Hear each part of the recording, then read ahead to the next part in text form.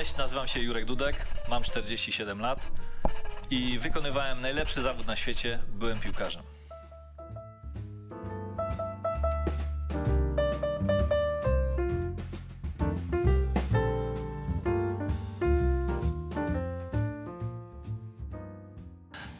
Jak miło. Cześć Jurek. Dzień dobry. Ten format nazywa się Mój Pierwszy Raz. Nie pomylę się chyba, kiedy powiem, że pierwszy raz, kiedy zobaczyliśmy Ciebie, kiedy Polska zobaczyła Ciebie w ogóle mm, szerzej i więcej, to była, to była pierwsze lata lat, y, lat 90. Spotkanie transmitowane przez Kanal Plus. Legia Warszawa grała z Sokołem Tychy, już chyba wtedy tak się nazywał ten klub, nie Sokół Pniewy. No i kilka piłek z siatki wtedy wyciągnąłeś. E, Pamiętam takiego jeszcze pierwszy wąs pod, e, pod nosem, loki na głowie, szczupły młody chłopak. Loki ciągle są. Jak bardzo różnisz się od tamtego chłopaka, który wtedy stał w bramce Sokoła? No ja też ten mecz pamiętam doskonale i tych e, dwóch komentatorów, bo i Smoku i Twaru komentowali to. Jeszcze niedawno wspominaliśmy ten mecz. E, Jak bardzo się zmieniłem od tamtego czasu? Pewnie bardzo się zmieniłem, e, bo to jednak ta piłka nożna kształtuje człowieka, kształtuje charakter. Ja do tamtego momentu, jak już ten charakter wykułem na tym Śląsku, jakoś go tak troszkę zahartowałem na te trudne czasy, bo to nie są łatwe czasy, jak się wybierasz i marzysz o profesjonalnej piłce nożnej, więc na pewno trochę się, trochę się dużo, no trochę dużo, no zmieniłem się na pewno, bo, wiesz, em, poznałem kilka różnych kultur, wyjeżdżałem za granicę, kilka języków, kilku fajnych e, ludzi, więc e, to wszystko wpłynęło na, na moje spostrzeżenie świata. Natomiast e, wydaje się, że pod jakim względem się nie zmieniłem, to, to tym, że jednak e, jestem świadomy skąd e, pochodzę, e, z jakiej rodziny jestem, jak było wcześniej, jak jest teraz, te, te, te, te różnice pamiętam i pod tym względem chyba tam różnic nie ma. Czy bycie chłopakiem ze Śląska kształtuje charakter w sposób inny niż e, pochodzenie z każdego innego regionu w Polsce? Niekoniecznie, to zależy też e, e, z jakiego miejsca pochodzisz, bo są też miejsca w naszym kraju, są takie dzielnice powiedzmy, e, gdzie trzeba pokazać ten charakter, gdzie, trzeba codziennie udowadniać, można powiedzieć, m, swoją wyższość na osiedlu, i, e, i, ale u mnie na osiedlu tak było. Mieliśmy swoje jakby swoje marzenia i, on, je trzeba było wykuć niekoniecznie w takiej miękkiej grze, jakby to powiedzieć. I, i, miało się do tego duży, dystans tak naprawdę i, to też na pewno to też mi pomogło w, w późniejszym życiu, y, czyli w tej adaptacji do, do nowego życia, y, żeby, żeby to jakoś y, lepiej znieść, bo, bo wiadomo, że czasami pojawiają się łzy, jakieś takie dylematy i zwątpienia, więc ten charakter, który wykułem tam za młodego na, na, na śląskim osiedlu, na pewno był pomocny. Czego się nauczyłeś o sobie, będąc przez no, dobrych kilkanaście, nawet dziesiąt może lat e, zawodowym piłkarzem, bramkarzem? No, człowiek się uczy mm, cały czas. To jest fajne, że jakby no, nie, nie chcesz dopuścić do tego momentu, kiedy już myślisz, że już umiesz wszystko i, mm, e, i, e, i te marzenia, które gdzieś tam sobie cały czas musisz no, musisz je cały czas gdzieś tam na nowo odkrywać, e, żeby, żeby się spełniać że one były tam cały czas odkrywane, cały czas krok po kroku była realizacja tych marzeń e, czy tych planów na przyszłość. I, i tak naprawdę nie miałem takiego momentu, żeby pomyśleć, e, okej, może raz miałem taki moment, żeby pomyśleć, okej, teraz możesz być siebie zadowolony, ale ogólnie raczej pracowałem nad swoim rozwojem i, mm, i nie miałem takiego momentu samodoskonalenia się, że powiedziałem, okej, to już jest wszystko, co, mm, co osiągnąłem. Wydaje się, że ten czas był dla mnie sprzyjający, e, bo nigdy nie myślałem, że ja wyjadę za granicę, e, a za granicą mieszkałem 16 lat. E, Ja najdłużej byłem poza, poza rodzinnym domem, czyli rodzi, mieszkaliśmy z rodzicami. To na, na 10 dni na obóz piłkarski, więc to później ten przeskok, e, ta podróż, samodzielna podróż e, do Holandii była naprawdę dużym wyzwaniem dla mnie. Wiesz co, e, pozwól taki mały, ma- taki mały osobisty wtręt. Ja wyjechałem z kraju w 1989 roku na kilka lat. Też prawie nigdy nie byłem nigdzie za granicą i do dzisiaj pamiętam te uczucia, które mi towarzyszyły z pierwszych dni spędzonych we Francji. Mieszkałem tam. Czy ty dobrze pamiętasz swoje pierwsze dni spędzone właśnie za granicą w Holandii? Pamiętam bardzo dobrze swoje pierwsze dni w Holandii, w ogóle całą podróż, pamiętam w ogóle wszystko to, co się działo, co było związane z Holandią, bo, bo zanim ta podróż e, nastąpiła, bo ja bym w życiu się nie, nie zdecydował na wyjazd do Holandii, gdybym tam nie był wcześniej. A wcześniej udało mi się tam być pół roku e, przed moim wyjazdem e, na obozie piłkarskim z Sokołem Tychy, wcześniej wspomnianym, z Bobo Kaczmarkiem i tam graliśmy dwa sparingi. Tam, się, tam mogłem zobaczyć, jak wygląda naprawdę wielki klub. I później pół roku e, po tym, jak już e, rozegrałem mm, ten mój sezon w Ekstraklasie, utrzymaliśmy się w Ekstraklasie. Była tam moja propozycja do, do przejścia do Rotterdamu. Na razie tylko na testy, co prawda, to pamiętam praktycznie wszystko. Pamiętam to, jak graliśmy ostatni mecz sparingowy w Bydgoszczy. Wyjechałem e, sam do, do Gdańska, bo stamtąd był samolot. Leciałem sam samolotem do, przez e, Kopenhagen, przez Kopenhagę do Amsterdamu. W Amsterdamie odebrał mnie już e, świętej pamięci, niestety Wodek Smolarek. Mój przyjazd do hotelu, e, pierwszy trening tu był katastrofalny. Wtedy pierwszy raz chyba płakałem w życiu. E, Właśnie chyba na, na ten temat akurat dzwoni moja e, druga połowa, przepraszam. To pokaże, że ten program naprawdę nic Jest nie live. Jest, i Tak, taki nie jest krojony. taki jest. Więc pamiętam bardzo dużo. One, tak jak, tak jak mówię, one, one było, były częścią mojego jakby mojego DNA E, i, i e, pamiętam pierwszy kredyt, bo wyjeżdżałem, ja wyjeżdżałem do Rotterdamu z jedną torbą, bo ja byłem na obozie piłkarskim z Sokołem Pniewy i w ogóle ta cała historia wyjazdu była śmieszna. Byliśmy w Trzciance pod Poznaniem i prezes zaproponował mi testy, żebym wyjechał na testy do Rotterdamu. A ja mówię, że nie mam papierów, ja nie mam w ogóle paszportu, nie mam nic z sobą, nie? Tylko mam rękawice, buty.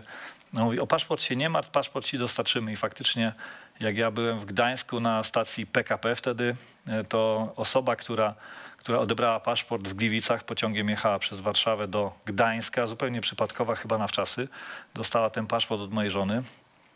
E, I ja ten paszport odebrałem. I ta cała historia w ogóle tego wyjazdu do, do, do Rotterdamu była na tyle taka e, traumatyczna, można powiedzieć, bo to mój pierwszy samodzielny lot. Nie wiedziałem w ogóle, czy się, e, czy się odnajdę.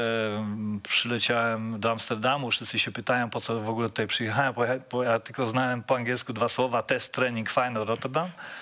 I oczywiście w Amsterdamie kibice Ajaxu, celnicy, wszyscy się śmiali ze mnie, że to niemożliwe, ale jak otworzyli tą torbę i, zobacz, i ten, ten smród taki buchnął z butów i, i em, piłkarskich, to oni zobaczyli, rzeczywiście miałem tylko parę rękawic i e, parę butów piłkarskich i oni rzeczywiście wtedy mówią, ty, on chyba naprawdę przyjechał na, na test trening do Feyenoord Rotterdam. I mnie puścili, Wodek mnie odebrał. No i zaczęła się taka naprawdę wielka, wielka, wielki dylemat, bo w pierwszym dniu puściłem chyba wszystkie gole. E, Właśnie, Ron- prawda?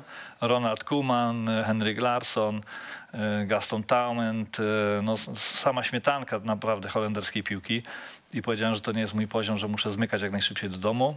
Ale jak wróciłem do, do hotelu, to trochę uspokoiłem te swoje emocje jeszcze takie nieopierzonego, niedoświadczonego Mokosa. I na następny dzień już było trochę lepiej. Puściłem połowę z tego, co puściłem pierwszego dnia. I na trzeci dzień już było, było super. Na czwarty dzień podpisałem umowę z Feyenoordem Rotterdam na, na 5 lat i postanowiłem, że, że okej, spróbuję, może się coś uda z tego wykuć.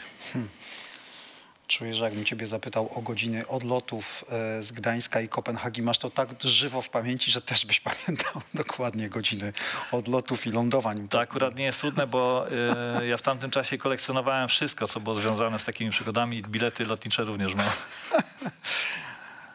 Czy jesteś w ogóle zbieraczem i kolekcjonerem swoich, swoich rzeczy, swoich pamiątek? Mm, Znaczy, no nie wiem, czy to tak można nazwać, czy jestem kolekcjonerem swoich rzeczy, swoich pamiątek, ale pamiętam od y, czasu, kiedy grałem w trzeciej lidze i ukazywały się nawet jeszcze wcześniej w juniorach, bo muszę powiedzieć, że ja już jako junior w wieku 16 grałem, 16 lat grałem w centralnej lidze juniorów, wtedy to się nazywała Międzywojewódzka Liga Juniorów. I, e, I w tamtym czasie o juniorach pisali w Dzienniku Zachodnim, więc raz, e, raz na tydzień we wtorek akurat ukazywała się informacja o kolejce i tam pierwszy raz zobaczyłem swoje nazwisko i od tamtego czasu praktycznie e, wszystko, co się ukazało gdzieś tam małym, grubszym drukiem e, na mój temat, to zbieraliśmy, wycinaliśmy i, jakby wklejaliśmy do, do zeszytów czy do klaserów i faktycznie dużo tego się uzbierało, to są fajne, fajne pamiątki. Jurek, powiedz mi, jaka jest największa cena? Jednak cena, jaką zapłaciłeś za bycie zawodowym piłkarzem przez no, 20 lat.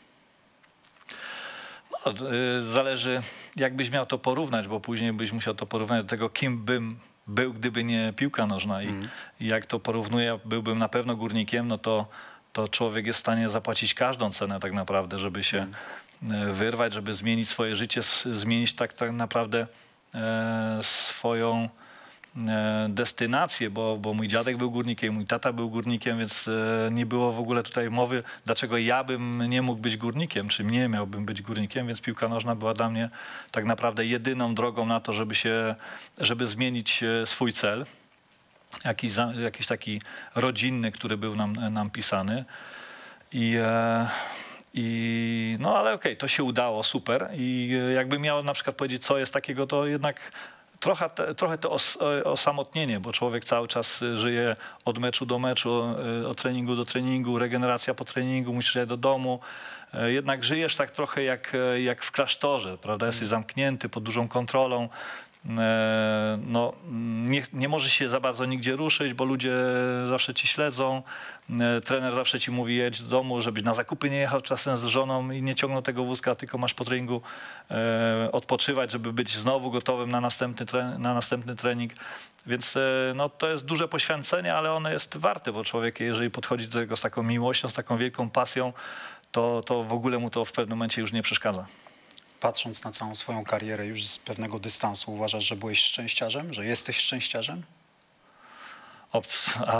Absolutnie. Od, pierwszego, od pierwszej decyzji, e, która, która jakby no, troszkę może mnie wyciągnęła z tej kopalni, można powiedzieć, że byłem szczęściarzem.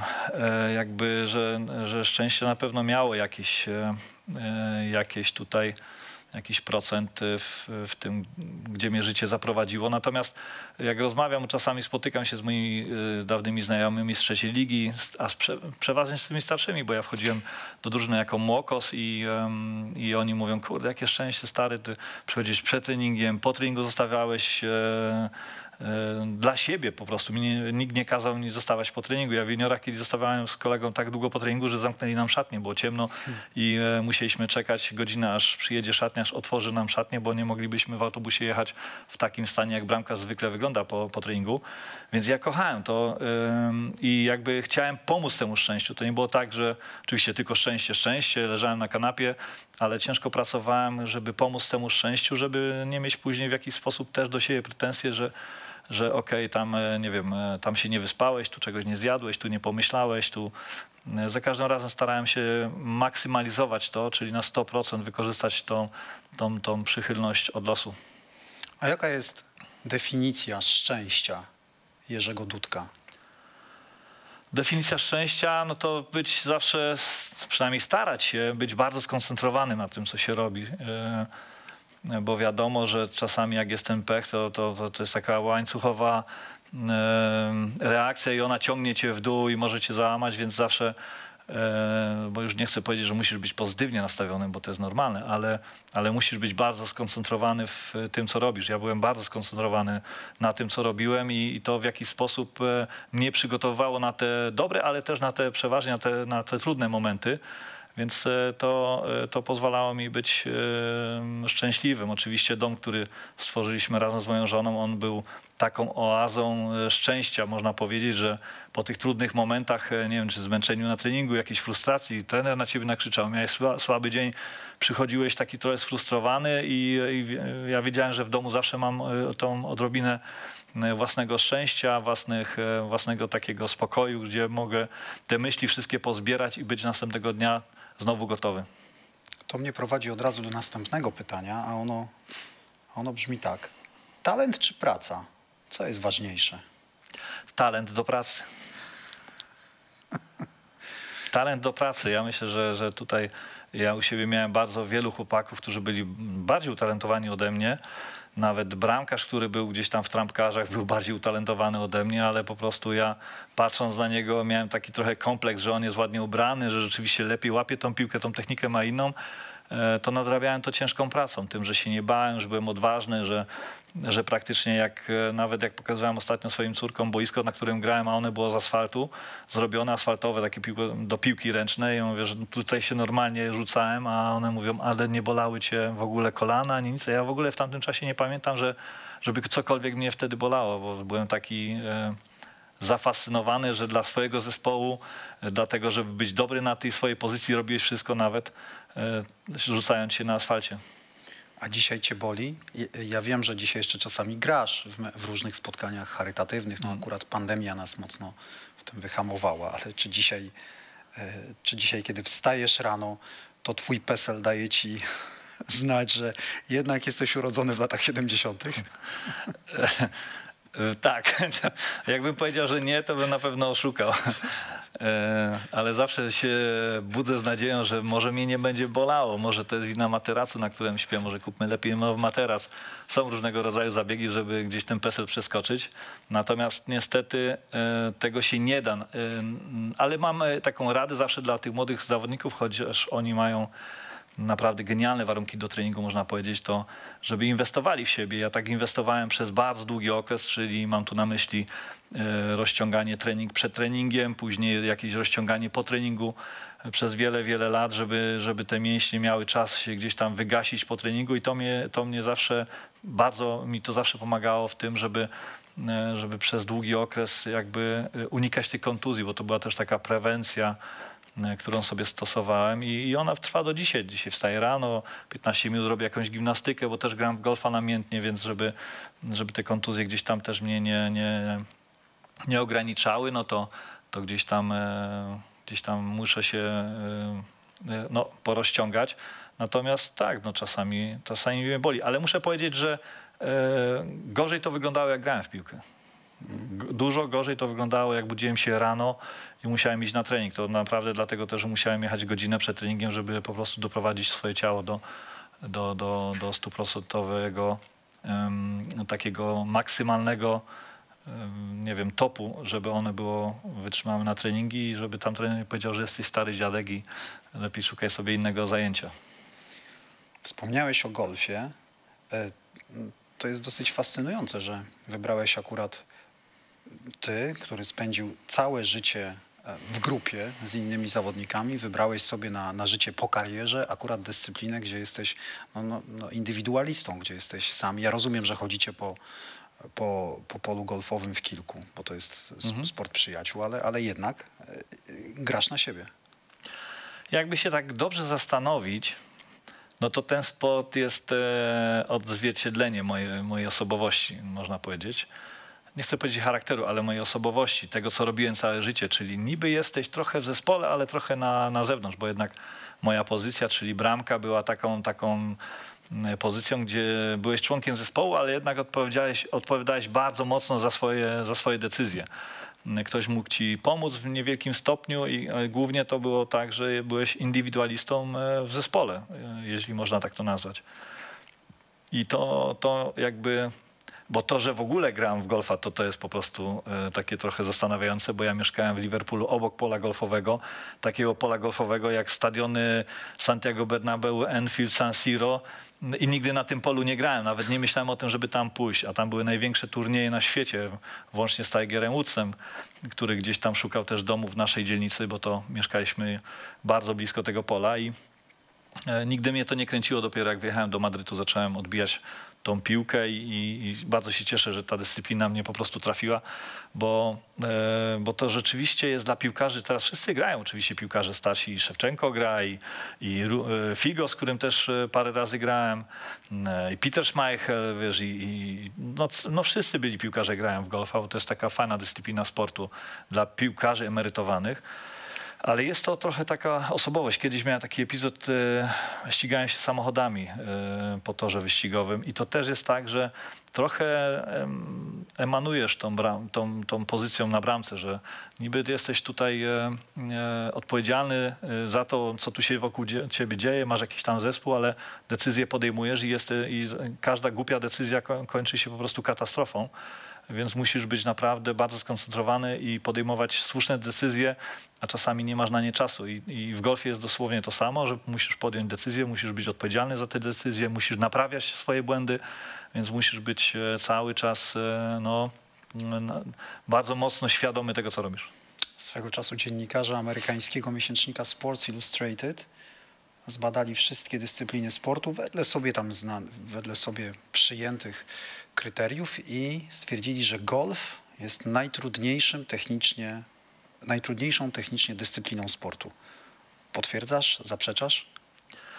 Nie grałeś we wszystkie, wiadomo, ale Potwierdzam, że golf jest bardzo trudną dyscypliną sportu, techniczną oczywiście też, ale od, tego, od tej strony mentalnej jest mega, mega trudny, że, że naprawdę tutaj nikt ci nie pomoże. E, może sobie sam pomóc, ale jak ci nie idzie, jak gdzieś tam ten wynik jest na granicy, na balansie twojej przegranej, to to naprawdę ręce zaczynają drżeć i, i, i i to jest bardzo dziwne uczucie. W piłce nożnej, jak nie wiem, staniesz e, nie wiem, 10 minut, trochę słabiej zagrasz, no to sprowokujesz jakiś fał, może nie wiem, jakąś e, interakcję z przeciwnikiem, to cię coś pobudzi, adrenalina ci skoczy i zaczynasz się włączać do gry. Natomiast w golfie nie ma czegoś takiego. Te emocje muszą być bardzo głęboko stłumione. E, Nie, nie można takiej, e, chyba John Ram, taki Hiszpan, bardzo dobry e, golfista, on potrafi tak trochę, jak już mu nie idzie, zrobić taką interakcję z kibicami, trochę krzyknąć na kogoś, żeby jakby siebie pobudzić i podbić tą adrenalinę, czego raczej na golfie się nie robi. Więc potwierdzam, że to jest bardzo trudna dyscyplina sportu, ale ze względu na to, że ja jakby byłem sportowcem trochę w innym charakterze, kilka rzeczy potrafi mnie tam po prostu gdzieś no, zaskoczyć, ale kilka, kilka e, sytuacji, z kilku sytuacji potrafię w jakiś sposób wyjść. jeździłeś samochodem, grałeś w golfa, e, trochę pokopałeś w piłkę, do czego oczywiście wrócimy jeszcze w tej rozmowie, ale zdarzyło ci się też, e, jeżeli już mówimy o dużej próbie charakteru, zdarzyło ci się pobiegać. I zdarzyło ci się pobiegać w warunkach absolutnie nietypowych. I chciałbym cię o ten bieg, o ten jeden szczególny bieg zapytać. Nie o trening e, w lesie w Krak- pod Krakowem. Wiadomo, chciałbym cię zapytać o Saharę. Opowiedz mi o swoich uczuciach. Przebiegłeś wtedy, opowiedz nam, przez tych kilka dni, ile kilometrów? No ja 50, były dwa dystanse, był dystans 100-kilometrowy i 50-kilometrowy. Ze względu na to, że e, ja byłem tym żółtodziobem, zdecydowałem się na ten dystans 50-kilometrowy. I ja wiele rzeczy takich dziwnych robię, nie? Ile było stopni wtedy? No stopni słońcu? było kurczę tyle, ile prawie w, w gotującym się czajniku. Więc bardzo gorąco. To było straszną głupotą z mojej strony. e, I e, ja się nie martwiłem o swoje przygotowanie fizyczne. Nie martwiłem się o to, że nie wiem, gdzieś tam mi mental zawiedzie i, e, i nie wiem, zakopię się pod piasek, jak żeby uciec przed temperaturą. Zawiódł? Miałeś trudne momenty? Miałem wtedy? takie trudne momenty pod względem, e, bo nawet te trudne momenty, jakby wiesz, że cię nogi bolą, że masz buty obtarte, bo nawet tego nie czujesz, bo to jest tak duża adrenalina, że biegniesz, e, widzisz, że każdy przygotowany ma jakieś specjalne buty, nakładki, żeby się piasek do butów nie sypał. A ty tego nie czujesz po prostu. Dopiero jak już bieg się kończy, pierwszy etap tam się kończy 22 km, zdejmujesz te buty i widzisz, że masz z 30 gramów e, piasku, który obtarł totalnie twoje nogi. I tak patrzysz, po prostu cała skóra zdarta i mówisz, kurde, w ogóle tego nie czuć. Taka jest e, adrenalina. E, No i, i jakby próbujesz adoptować rzeczy, które cię napędzają z tego, co robiłeś, czyli z piłki nożnej, z, z budowy zespołu, e, wiesz, atmosfery, budujesz e, zespół wokół siebie, jakichś chłopaków, którzy są ciekawi twojej osobowości, próbujesz im dać coś od siebie też, budujesz taką, w autobusie mieliśmy super atmosferę za każdym razem, jak jechaliśmy i, e, i ty czujesz z nich adrenalinę, jakby czerpiesz z nich adrenalinę, czyli tą moc, ale ty im też dajesz tą moc do, do przebiegnięcia, kolejnych etapów. Trudnych momentami odcinków, bo e, Run Mageddon na Saharze to nie jest tylko bieg po prostu fajnie po piachu, tylko najpierw e, cię wycierają przez wszystkie e, przeszkody wodne, piaskowe, e, różnego rodzaju inne przeszkody i dopiero, dopiero później biegniesz w tym 40-stopniowym e, upale, gdzieś tam, wiesz, podążając za, za, za Fata Morganą, gdzie się ukaże, czy się nie ukaże. E, I, I to mi się udało, że jakby e, ja sam siebie oddałem chłopakom, chłopcy troszkę jakby swoim doświadczeniem się też dzielili i, e, i to mi pomogło zaliczyć ten bieg, który był naprawdę taki no wielką, wielką przygodą można powiedzieć. Był na pewno mega ciężki, ale był fajną przygodą i o co ja się bałem? Ja się bałem głównie o to, że ja już jestem w takim wieku, że taki starszy pan w moim wieku nie powinien się tak wygłupiać, tym bardziej, że masz po prostu rodzinę w domu, masz dzieci w domu e, i różnie organizm reaguje, bo jak biegniesz sobie w lesie, to jest fajnie, czujesz, że nie wiem, możesz być odwodniony, kawałek siądziesz i jesteś w domu, ale tam po prostu jesteś sam. Widzisz co jakiś odcinek, nie wiem, 100 metrów, 200 metrów e, zawodnika, który biegnie do kolejnej e, chorągiewki, bo to się biegnie po chorągiewkach. W trzeci dzień mieliśmy burzę piaskową i to też ogromny strach. Każdy z nas miał e, GPS-y, więc pod tym względem nie było w ogóle tutaj żadnego problemu komunikacyjnego. Ale człowiek był, powiem ci jedną rzecz, tylko człowiek był tak zafascynowany po prostu, żeby przebiec tym celem, że jak wbiegaliśmy już e, e, Marzabad, było taki, takie pasmo górskie, E, Wbiegaliśmy po tą górę, nawet wchodząc czasami i gość jechał na, na kładzie, żeby nam zrobić zdjęcie i- biegniemy, biegniemy, stanęliśmy, zrobiliśmy zdjęcie i chcieliśmy biec dalej, a ten gość się tak nas, na nas patrzy, mówi, nie chcecie zobaczyć, co macie za plecami? A my mówimy, a co tam jest za plecami? Obracamy się i to był najpiękniejszy widok, jaki, jaki w życiu widziałem. A w życiu bym tego nie widział pewnie, e, bo, bo masz ten cel, chcesz po prostu zrealizować swoje zadanie, a czasami warto się zatrzymać, obrócić się na lewo, na prawo i to, to też e, mój kolega kiedyś w golfie powiedział, mówi, a jak ty grasz golfa, to oglądasz się trochę na przyrodę, na lewo, na prawo? Ja mówię, nie, bo ja ja mam ten cel, mam tutaj zagrać piłkę, później mam tam pod dołek zagrać piłkę i wbić ją do dołka. A on mówi, kurde, to źle, to już ci w niczym nie pomoże. Tak mogą grać zawodowcy. E, My musimy bardziej, szerzej patrzeć, większą perspektywę i, i biega, biegając na takich amatorskich e, mm, jakby no, zawodach, to warto czasami unieść głowę, popatrzeć się na lewo, na prawo, bo to doda ci energii, że kurde fajnie jest tutaj, mimo tego e, zmęczenia potwornego, to ci powie, kurde, naprawdę warto tutaj przyjechać, mimo tego, że cię po prostu boli. Ale, ale, ale te, te, te okoliczności były, były w tamtym czasie były cudowne. Dobra rada na całe życie swoją drogą, żeby czasami się zatrzymać, obejrzeć, rozejrzeć. I rozejrzeć, żeby, żeby podnieść głowę, ale y, jakby my byliśmy na takiej adrenaliny na przykład, bo potem baliśmy się o siebie, jak była już burza, burza piaskowa, że jak na przykład wiatr tam uniósł się do 50 km na godzinę, to nie było nic widać na 20 metrów. Było nas tam około 100, więc y, to był duży problem, żeby później się y, nie, nie zgubić. E, I okej, jakoś dobiegliśmy do tej mety, przeszkody, e, wszyscy się cieszyli e, i jechaliśmy, wracaliśmy. e, Prawie 8 godzin wracaliśmy do Agadiru, e, skąd był samolot do Polski. E, W autobusie, e, no, bo na dwa autobusy jechaliśmy, śpiewaliśmy fajnie, fajnie. E, Emocje opadły i po dwóch godzinach zatrzymaliśmy się, żeby się coś napić i nikt nie mógł wysiąść z, z, z autobusu. Mięśnie tak zastygły, ta adrenalina tak spadła, że patrzyliśmy na siebie i nie mogliśmy wierzyć w to, że po prostu, że, to, że, że tak, tak byliśmy, można powiedzieć w cudzysłowie, zdewastowani. Nie? Ale tak jak powiedziałem, no, szczęśliwy tym wykonanym zadaniem. Umiesz powiedzieć, co będzie się z tobą działo za, dajmy na to, 10-15 lat? Czy masz jakieś sportowe wyzwania? Czy masz jakieś życiowe wyzwania? To jest e, najtrudniejsze pytanie, bo e, do tej pory zawsze miałem e, jakby ten rozpracowany tą, ten dystans, tak? Kolejne małe kroki, kolejne jakieś cele do zrealizowania. Najpierw bycie bramkarzem w trzeciej lidze, później w ekstraklasie, później może reprezentacja. Najpierw wyjazd mnie trafił za granicę, rywalizacja z Eddechujem i takie były małe, cały czas e, sobie wytyczałem e, małe kroki i one mnie mm, bardzo mobilizowały. Takie, one były krótkie, taki mikrocykl mały, ale e, musiała być pełna realizacja.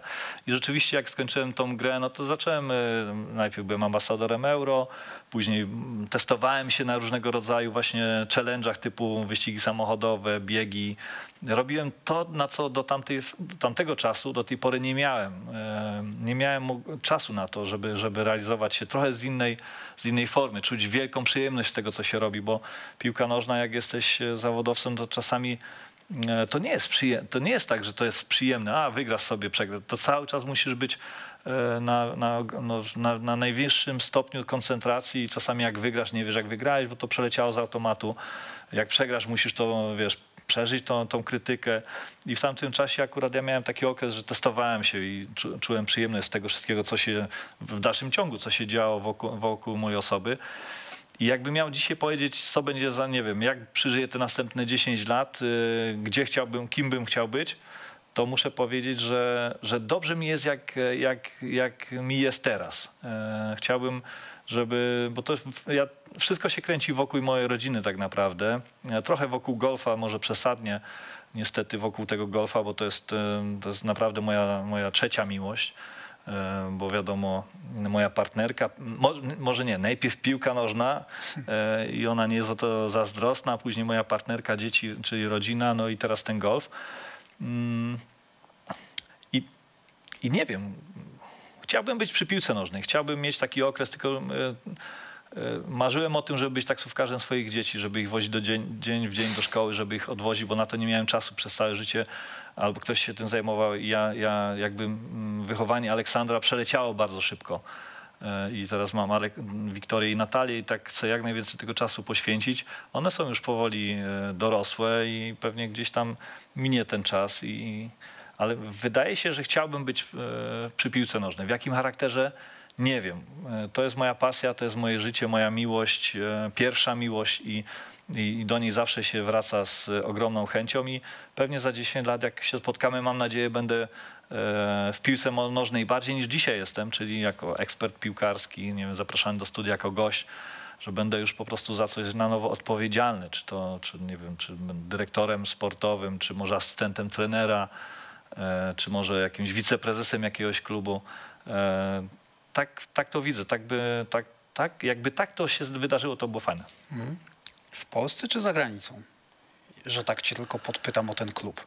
E, chyba chyba w, w bardzo blisko mi e, jest e, i zawsze było do Polski, więc e, raczej w Polsce, bo mógłbym mieszkać i w Rotterdamie i w Liverpoolu. Niedawno też sprzedaliśmy dom w Liverpoolu.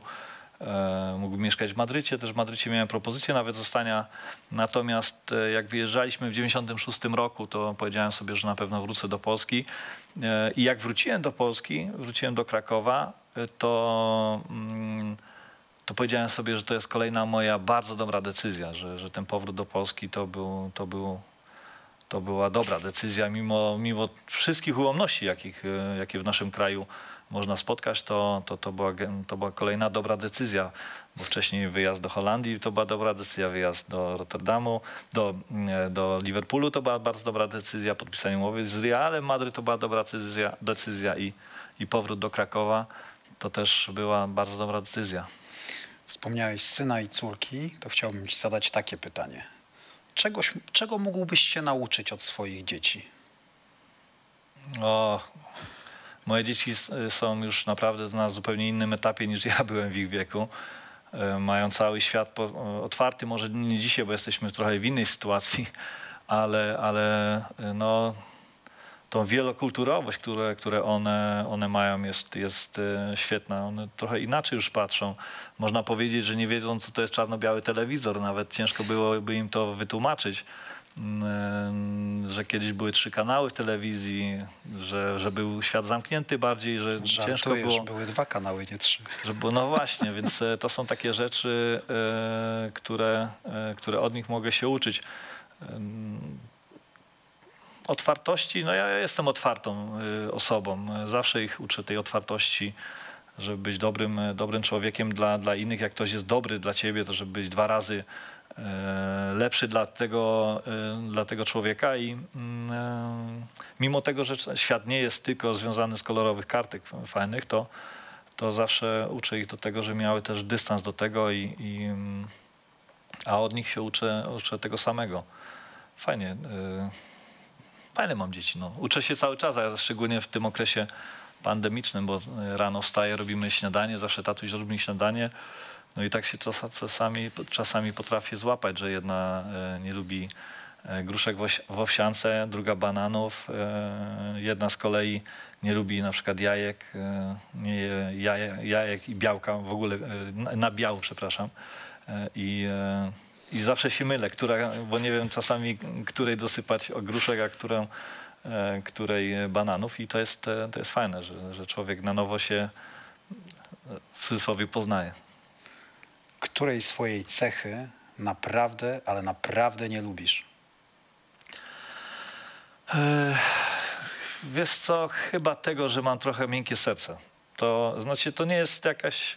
Zawsze mówi się, że ten, kto ma miękkie serce, musi mieć twardy dyłek, więc to u mnie się e, wyrównuje i, i, i to mi aż tak bardzo nie przeszkadza, ale jakbym miał powiedzieć, której nie lubię tak naprawdę, to mm, nie lubię po prostu siebie, jak przegrywam mecze. Nie lubię siebie, jak, jak, e, jak coś mi się nie udaje. I to z mojego powodu, że to nie jest tak, że szukam e, kolegi w zespole, na którego mogę zwalić tą winę i siebie wybielić. Nie, nigdy tak nie, nie, nie spoglądałem i, i, i za to siebie nie lubię. Jestem wtedy strasznie nieznośny. I dla siebie, i dla otoczenia po prostu. E, I to jest, to jest chore, że jak, jak przychodzę i coś mi się nie udało, to od razu wszyscy wiedzą, że, że, że to jest kurczę, spowodowane czymś, na przykład głównie w sporcie, że, że nie, nie udało mi się wygrać turnieju golfowego, albo nie to, że się nie udało wygrać, bo tego się nie można bać. No możesz nie wygrać. Możesz, e, nie możesz się bać porażki. Natomiast sposób, w jaki to zrobiłeś, to mnie, kurde, jak na przykład zawalisz coś, nie wiem, z własnej winy zawalisz bramkę, no to, to za to siebie nienawidziłem. Powinien stać, mm, nie wiem, mieć twardszy charakter, wziąć to bardziej na klatę. Ja się jednak, ja jednak gasłem. Ja po prostu brałem to do siebie, bardzo mocno tłumiłem i to była, e, tak patrzę po wielu latach, e, niefajna cecha, za którą siebie nie lubię. A jesteś typem gościa, takiego, e, taki typ człowieka, który nawet jak gra ze swoimi dziećmi, nie wiem, w planszówki czy w karty, to i tak musi wygrać? Szczerze. Szczerze, to ja zawsze chcę wygrywać. Oczywiście mam to w- krwi, że, że te wygrywanie, ta rywalizacja bardziej, mm, e, no to daje mi dużą, du, dużą, dużą przyjemność. E, Staram się nie odpuszczać, bo wiem, że są e, ojcowie, którzy po prostu odpuszczają, że tam mówią, a trzeba im dać wygrać, zmobilizować, poklepać, fajnie, wygrałeś, z tatą wygrałeś. I ja nigdy się mojego taty nie zapytałem. On uczył mnie kiedyś grać w szachy, graliśmy w szachy. I, e, i, to, I to tak wyglądało, że czasami e, wyglądało, że chce dać mi wygrać, ale nie do końca. Żebym cały czas robił postępy, ale czuł, że jest jeszcze margines na pracę, na, na to, że jeszcze nie jesteś gotowy na zwycięstwo. I jak już go grałem kiedyś, e, to już czułem to, że ja go grałem ze względu na własne umiejętności, ze względu na własne umiejętności, a nie, że ktoś mi dał wygrać. Bo dzieci to czują, to nie, nie da się ich oszukać. Powiedzmy, a ugrałeś mnie świetnie, tatuś, ale i tak nam dałeś wygrać, przyznaj się. No to wtedy się pojawia banan na, na, na ustach i nie jesteś w stanie powstrzymać tych emocji. Także ja lubię, uwielbiam rywalizację w każdej postaci, ale nie łatwo, ta, ta, jakby tanio skóry nie sprzedaję. To odwrócę historię. Dałeś wygrać swojemu synowi w szachy albo córkom? Czy też je Eee, trzymasz na lekkim marginesie i. Nie są jeszcze gotowe na zwycięstwo statusia. Okej. A której swojej cechy nie powinieneś absolutnie w sobie zmieniać?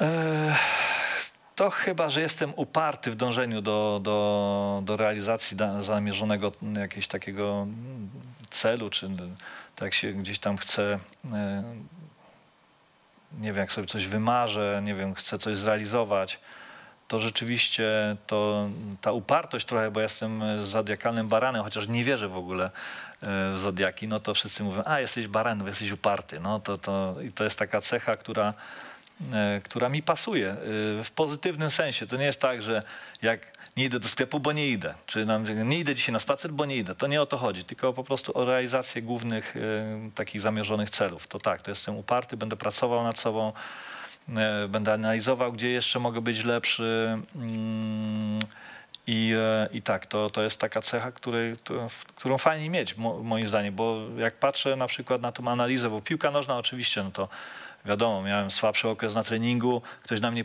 pokrzyczał, byłem strasznie wkurzony, to nie, nie jechałem, nie wchodziłem do szatni, tylko pozostałem na treningu jeszcze z pół godziny, zrobiłem rzeczy, które mi dają przyjemność, czyli nie wiem, kopałem ze środka boiska piłkę do bramki, albo później w poprzeczkę. Jak już to powtórzyłem z 20 razy, to mówię, kurde, super, ekstra, no to mamy to. Idę, I wtedy idę do domu, emocje są wy, wy, już wy, wyzerowane, e, więc, e, więc e, taka realizacja była, była dla mnie ok. I co? I Chyba to. dobrze, chyba dobrze. No. Chciałbym cię teraz zapytać, kim byś został, gdybyś miał zrobić alternatywną karierę? Już mi powiedziałeś, że znaczy mogę się domyślić, albo golfistą, albo górnikiem, to w zależności, gdybyśmy tam mieli szukać czy w sporcie, czy w życiu. Ale do czego uważasz, że jeszcze masz talent? Myślę, że mam talent y, jako, tako, jako taki do wielu dyscyplin sportowych. Jestem po prostu urodzonym sportowcem, można powiedzieć. To się chyba wzięło też, że kiedyś jednak w tych szkołach e, lekcje WF-u były mm, ogólnorozwojowe. To nie było tak, że człowiek się koncentrował na jednej dyscyplinie. Ja byłem w reprezentacji szkoły w każdej dyscyplinie sportu.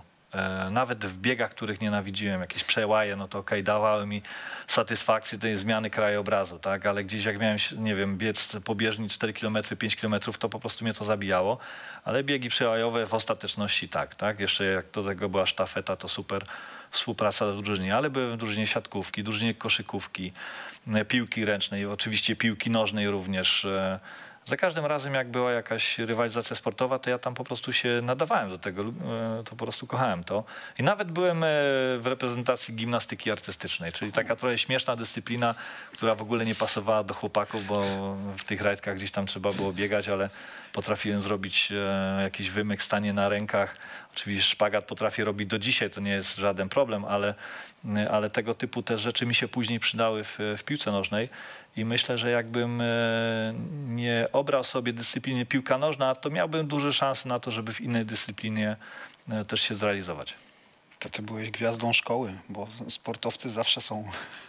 No u nas nie było lubiani. tak, pamiętasz, że u nas nie było tak e, jak to w Stanach, że jak już ktoś, wiesz, był w drużynie To jest w koledżu, no to po prostu była ta gwiazda i wszystkie dziewczyny się za nim oglądały. To u nas tak nie było niestety. Dobra, to już wiemy, do czego masz talent. A do czego absolutnie nie masz talentu i masz dwie lewe ręce? Dlaczego nie mam talentu? No pewnie w wielu, wielu, wielu, wielu, wielu rzeczy e, nie mam talentu. E, Co obchodzisz szerokim łukiem, żeby przypadkiem Czym się nie zajmuję? zepsuć? Tak. Mhm. Wiesz co, my mieliśmy dosyć, e, bo to jest wyniesione z domu. Mój, mój brat był odpowiedzialny za ścieranie kurzy na mebleściance i odkurzanie e, dywanów, a ja byłem e, za część e, kuchenną, czyli wszystko, co się dzieje w kuchni. Zmywanie, czyszczenie, mycie. I to mi do dzisiaj zostało. To lubię, ale po prostu nie lubię po prostu odkurzać. Nie lubię takich rzeczy, wiesz, tam ścieranie kurzów. Też powoli gdzieś tam to zrobię, ale nie lubię tego. Mm, e, A z takich innych rzeczy, czego bym, e, jakby mnie ktoś miał zapytać, nie wiem, ja chyba nie mam z niczym problemu takiego, żeby powiedzieć, tego nie zrobię, tego nie chcę robić. E, Nie mam takich, e, takich. e, Na przykład nie ciągną mnie narty, mogę to powiedzieć, że nie jeżdżę na nartach, nigdy mnie nie ciągnęją narty, nawet mamy znajomych, jeżdżą co roku. Ja z nart jedynie co ja bym mógł sobie wziąć, to chyba herbatę grzańca jakiegoś i popatrzeć jak, jak ludzie jeżdżą, bo czasami to, to też fajne jak ludzie jeżdżą. A tak to chyba nie ma tak. Ja jestem bardzo zdyscyplinowanym człowiekiem, który potrafi rozkminić wszystkie rzeczy. Szybciej czy później. Z jakiej strony jeszcze nie znamy Jerzego Dudka? Co robi No to się takiego? okaże. To się okaże, z jakiej strony się nie znamy. Nie wiem, e, to ja sam siebie pewnie zaskoczę za niedługo i wymyślę dla siebie jakiś challenge, bo to zawsze jest tak, czy ten sztafeta maratonu, czy... Ale to są głównie rzeczy związane ze sportem, prawda, że to jest jednak coś zupełnie innego, to, co, czego się raczej nie boję. E, no, oglądam czasami programy, na przykład jakaś tam e, brudna robota, jak tam gwiazdy realizują się w jakichś innych rzeczach, które, które niekoniecznie lubią. e, no to, to na pewno jest kilka rzeczy, które by przyszło mi ciężko robić, no nie? Ale, ale nie jest tak, że bym po prostu czegoś nie zrobił. Może, nie wiem, jakaś wyprawa w dżunglę, no to kurczę, to, to jest rzeczywiście ryzykowne i mógłbym się nie odnaleźć. Jaka jest twoja grzeszna przyjemność? Golf oczywiście. Golf. Ja czasami, już teraz nie, już mi trochę minęło, ale czasami się umawiałem gdzieś na jakieś spotkania biznesowe i zmykałem na pole. Czego y, to też nie można powiedzieć, że to nie jest spotkanie biznesowe, bo też się fajnych ludzi poznaje na polu golfowym, ciekawych i, e, i można sobie wzajemnie pomóc i biznesowo, i, i nie tylko. E, e, Natomiast chociaż mój kumpel kiedyś powiedział, mówi, słuchaj, jak ja miał robić biznes na polu, to już dawno bym zbankrutował. E, Więc ma dużo, dużo prawdy w tym, e, dużo racji. I nie, Okej. Zapytam cię teraz jeszcze, zanim przejdziemy do mojego formularza. Czekolada. Czekolada. Słodycze, to jest mój grzech. To jest coś, czego nie potrafię e, jakby na tym zapanować. Jestem niesamowitym łasuchem, kurde. Niesamowitym łasuchem. Pamiętam, kiedyś przyjeżdżałem na reprezentację, przywoziłem jakieś koszulki tam naszym masażystom, fizjoterapeutom i oni w zamian mówi, a może dla mojej córki byś koszulkę przywiózł? No to zawsze przywoziłem. No to mówi, a od mojej córki masz e, prezent. A tam putełko po prostu ptasiego mleczka, które, wiesz, Prince Polo czy ptasie mleczko. Jak e, w, czasie Ligi Mistrzów w 2005 roku za, mną taka grupa jeździła ze Szestychów. I byli na wszystkich, na różnych meczach e, w Lidze Mistrzów, bilety jak załatwiałem im, to oni wiedzieli, że jak przyjeżdżałem do mnie do Liverpoolu, czy gdzieś, nie wiem, w Niemczech graliśmy, to zawsze przyjeżdżali z takim wielkim boksem Prince Polo. No nie? I, i to, to było niesamowite, bo wiedzieli, że to po prostu uwielbiam i, i, e, i taka, wiesz, ta pierwsza, ta pierwsza półka w Prince Polo to jest jakieś 10 minut, druga to jest kolejne 7 i jest po, po półkilogramowej paczce Prince Polo, czy tam ptasiego mleczka. Tak, ale widać, że metabolizm masz dalej świetny. Możesz jeść tą czekoladę, ale chyba wagowo jesteś ciągle w okolicach swojej wagi Już- startowej. Tak, już, już nie, ale, ale na przykład, e, no bo wiesz, raz musisz o siebie dbać, więc raz na e, cztery miesiące robisz test e, krwi i ten cholesterol rzeczywiście zaczyna się podnosić. Więc będziesz musiał pokazać później za jakiś czas charakter i z czegoś zrezygnować. Zapytam cię jeszcze w tej części o taką rzecz. Gdybyś na tylko jeden dzień, tylko na jedną dobę, na 24 godziny miał wyjść w czyjeś w cudze buty, to czyje by to były buty? Michael Jordan. Bez wątpienia od razu. Raz, że wiadomo, że idol y, naszych czasów. y, Niejednokrotnie zarywaliśmy noce oglądając NBA i poczynania Chicago Bulls. Natomiast on był genialnym golfistą również. I historie o golfie, które, które się pojawiają, czy w jego biografii, są niesamowite po prostu, że można było tak to łączyć, że on na przykład rozegrał e, dwie partie golfa przed meczem e, na przykład jakiś Puchar Konfederacji, który był wieczorem. E, I lubiał tą rywalizację też na, na jakieś małe pieniążki, duże, większe, obojętnie, ale, ale potrafił rozegrać dwie rundy golfa i jeszcze rozegrać mecz i ktoś by powiedział, to na to nie ma siły, a facet rzucał zawsze tam 54 punkty i, i mówi, o dzisiaj będę musiał codziennie grać w golfa. Tak to wyglądało. No, także, także na pewno jakbym miał tą możliwość, to bym na przykład, to chciałbym, chociaż wiem jak to wygląda, bo e, też oglądałem e, dokument i to wygląda dosłownie tak jak u nas. To jest po prostu wszystko się kręci wokół hotel, lotnisko i boisko, tak? I stadiony. I wszyscy mówią, byłeś na całym świecie. No, no. no i co widziałeś? No to, to, to, to, to, to zwykle. Lotnisko, boisko i hotel. Lotnisko, boisko i hotel. Rzadko się zdarza, że masz czas na to, żeby pojechać coś zobaczyć. Praktycznie takiego czasu, czasu nigdy nie ma. Może raz jak jedziesz na, na obóz sportowy, na przykład jak byliśmy w Tajlandii, no zobaczyliśmy jakiś, e, jakąś fajną atrakcję turystyczną, ale, ale na, to, na to głównie nie ma czasu. I, I jak teraz skończyłem e, jakby grę w piłkę, no to kilka rzeczy zobaczyłem ponownie, tak? Trochę z innej perspektywy i, I e, rzeczywiście, jak się patrzy na drużyny piłkarskie, na gwiazdy piłki czy sportu w ogóle, to się patrzy, że mówisz, kurde, oni mają wszystko, oni naprawdę cały świat zobaczyli, ale to nie jest tak. To oni po prostu, do, to jest taka dyscyplina, taką musi zachować koncentrację, że widzisz tylko po prostu te trzy rzeczy. I to, co widzisz z autobusu, e, bo czasami zobaczysz te drapacze chmur, jakieś tam fajne rzeczy, jakieś zo. My graliśmy Puchar Świata w, w Tokio. Nigdy nie byłem w Japonii. Byłeś? Byłem. Byłeś. A ja byłem też tylko przy okazji meczu e, Puchar Świata. Liverpool zrobił, zrobił Ligę Mistrzów, no to my pojechaliśmy, wtedy się grało w, w Tokio e, i w Hiroshimie graliśmy e, półfinały czy finały. No i też przylecieliśmy oczywiście cały harmonogram ustalony przez doktora i naszego trenera od przygotowania fizycznego, że jest różnica czasowa, że jak rano przyjedziemy, to będzie, to musi mieć cie- ciemne okulary, żeby nas słońce nie raziło, bo to będzie 6 rano i najlepiej jak będziemy jeszcze, jeszcze spać, do tam do ósmej, no ale ja przyjechałem, chciałem zobaczyć e, i mówi, a i w autobusie zasłaniamy wszyscy firanki. No to mnie się już spać nie chciało, odsłoniłem firanki, patrzyłem na te, na te Tokio, mnóstwo neonów, pięknie. On nagle przyszedł, zaczął mnie opierniczać. Co ty myślisz, że to sami jesteś? Przyjechaliśmy tu w jakimś celu. Mówi, stary, ja nigdy nie byłem w Tokio, chcę zobaczyć przynajmniej z okna, jak Tokio wygląda. To se kiedyś tutaj przyjedziesz, przylecisz, teraz mamy cel do zrealizowania i tutaj każdy musi być zdyscyplinowany. I tak to, tak to wyglądało. To jest cel na najbliższych 10 lat. Pojechać do Tokio. Do Tokio, tak, na sushi. Chociaż byłem oczywiście w Tokio, bo jako ambasador e, pewnej marki zegarkowej dostaliśmy zaproszenie do, do Tokio, do fabryki, żeby to zobaczyć, jak to, jak to wygląda i, i w tamtym czasie to no, jeden z lepszych moich wyjazdów e, pod względem dynamiki, bo to były tylko cztery dni, ale to, co zobaczyliśmy, jak wygląda fabryka, e, jak robią zegarki, jak to wygląda, to, jest, to dopiero wtedy otwierasz oczy i mówisz, kurczę, to jest pełna automatyka, a nie to, co my na boisku gramy. Dzień, w którym pierwszy raz wygrałem mecz, który był nie do wygrania. ja wiem, że ty się śmiejesz. Ja wiem, o który mecz od razu się rzuca. No tak, no to jest e, To jest oczywiste. mecz. Tak, to jest oczywiste. Zapytam cię inaczej w takim razie. Oprócz tego meczu. Nie, zapytam cię inaczej. Czy czasami masz dość pytań o Stambuł, czy... No bo to się przykleiło do ciebie, jesteś znany na całym świecie. Z tego jednego spotkania, Dudek Dance i tak dalej, i tak dalej. Wszyscy cię z tym kojarzą. Myślę, że kiedy pójdziesz na spotkanie w jednej, w drugiej, trzeciej firmie, ludzie pytają cię głównie o to, czy masz tego czasem dość?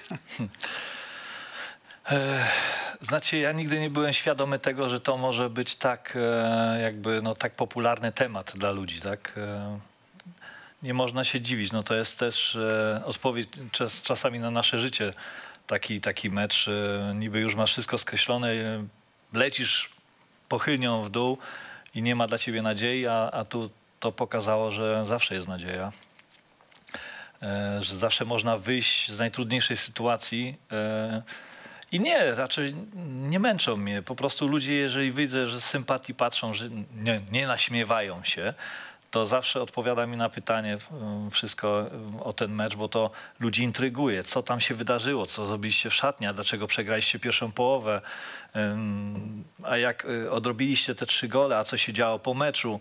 E, No i cały czas te pytania ludzi po prostu zastanawiają, szukają odpowiedzi, tak samo jak, jak, jak i my w pewnym momencie szukaliśmy odpowiedzi na to, jak przełamać AC Milan. Natomiast to, mm, jak patrzysz na ten mecz, to, to też nie jest tak, że to nam się udało raz, że to po prostu było wow. Jak to się stało? My wcześniej jako, jako Liverpool, czy w ogóle drużyny angielskie, ale szczególnie jako Liverpool kilka razy pokazaliśmy to, że y, my jak musimy coś wygrać, to po prostu wszyscy się mobilizują i, i jakby też natchnieni tym, tymi kibicami, bo trzeba powiedzieć, że kibice Liverpoolu w tych trudnych momentach są e, no, wielką naszą siłą. To nie jest tak, że musimy wygrać z Boltonem, to wygrywamy, tylko chodzi o te najważniejsze mecze, tak? Że z Boltonem to my sobie sami poradzimy, to tak to musi wyglądać, natomiast chodzi o te najważniejsze mecze. Przecież my nawet w tamtej edycji Ligi Mistrzów w grupie u siebie graliśmy ostatni mecz z Olympiakosem, który mu, musieliśmy e, pokonać różnicą dwóch bramek, a do przerwy przegrywaliśmy 1-0. Co znaczy, że musieliśmy im strzelić trzy gole, bo inaczej byśmy odpadli z Ligi Mistrzów w tamtym czasie. I była taka mobilizacja i, kibice nie gwizdali na nas, nie krzyczeli, weźcie do roboty, co robicie, tylko wszyscy byli mentalnie przygotowani na tą drugą połowę, że my albo stworzymy widowisko, które będzie zapamiętane przez wiele generacji, albo odpadniemy i będzie katastrofa.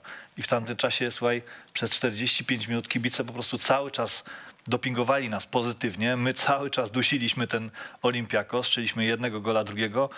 W 90 chyba drugiej czy trzeciej minucie Gerard strzelił za 16 na 3 na, na 3-1 i strzelił nas do następnej fazy rozgrywek, bo tak było po nas, więc w tamtym czasie już była taka namiastka tego, tego charakteru, że, e, że my tak łatwo skóry tanio nie sprzedajemy. Zapytam cię tylko o ten mecz jeszcze e, jedną rzecz.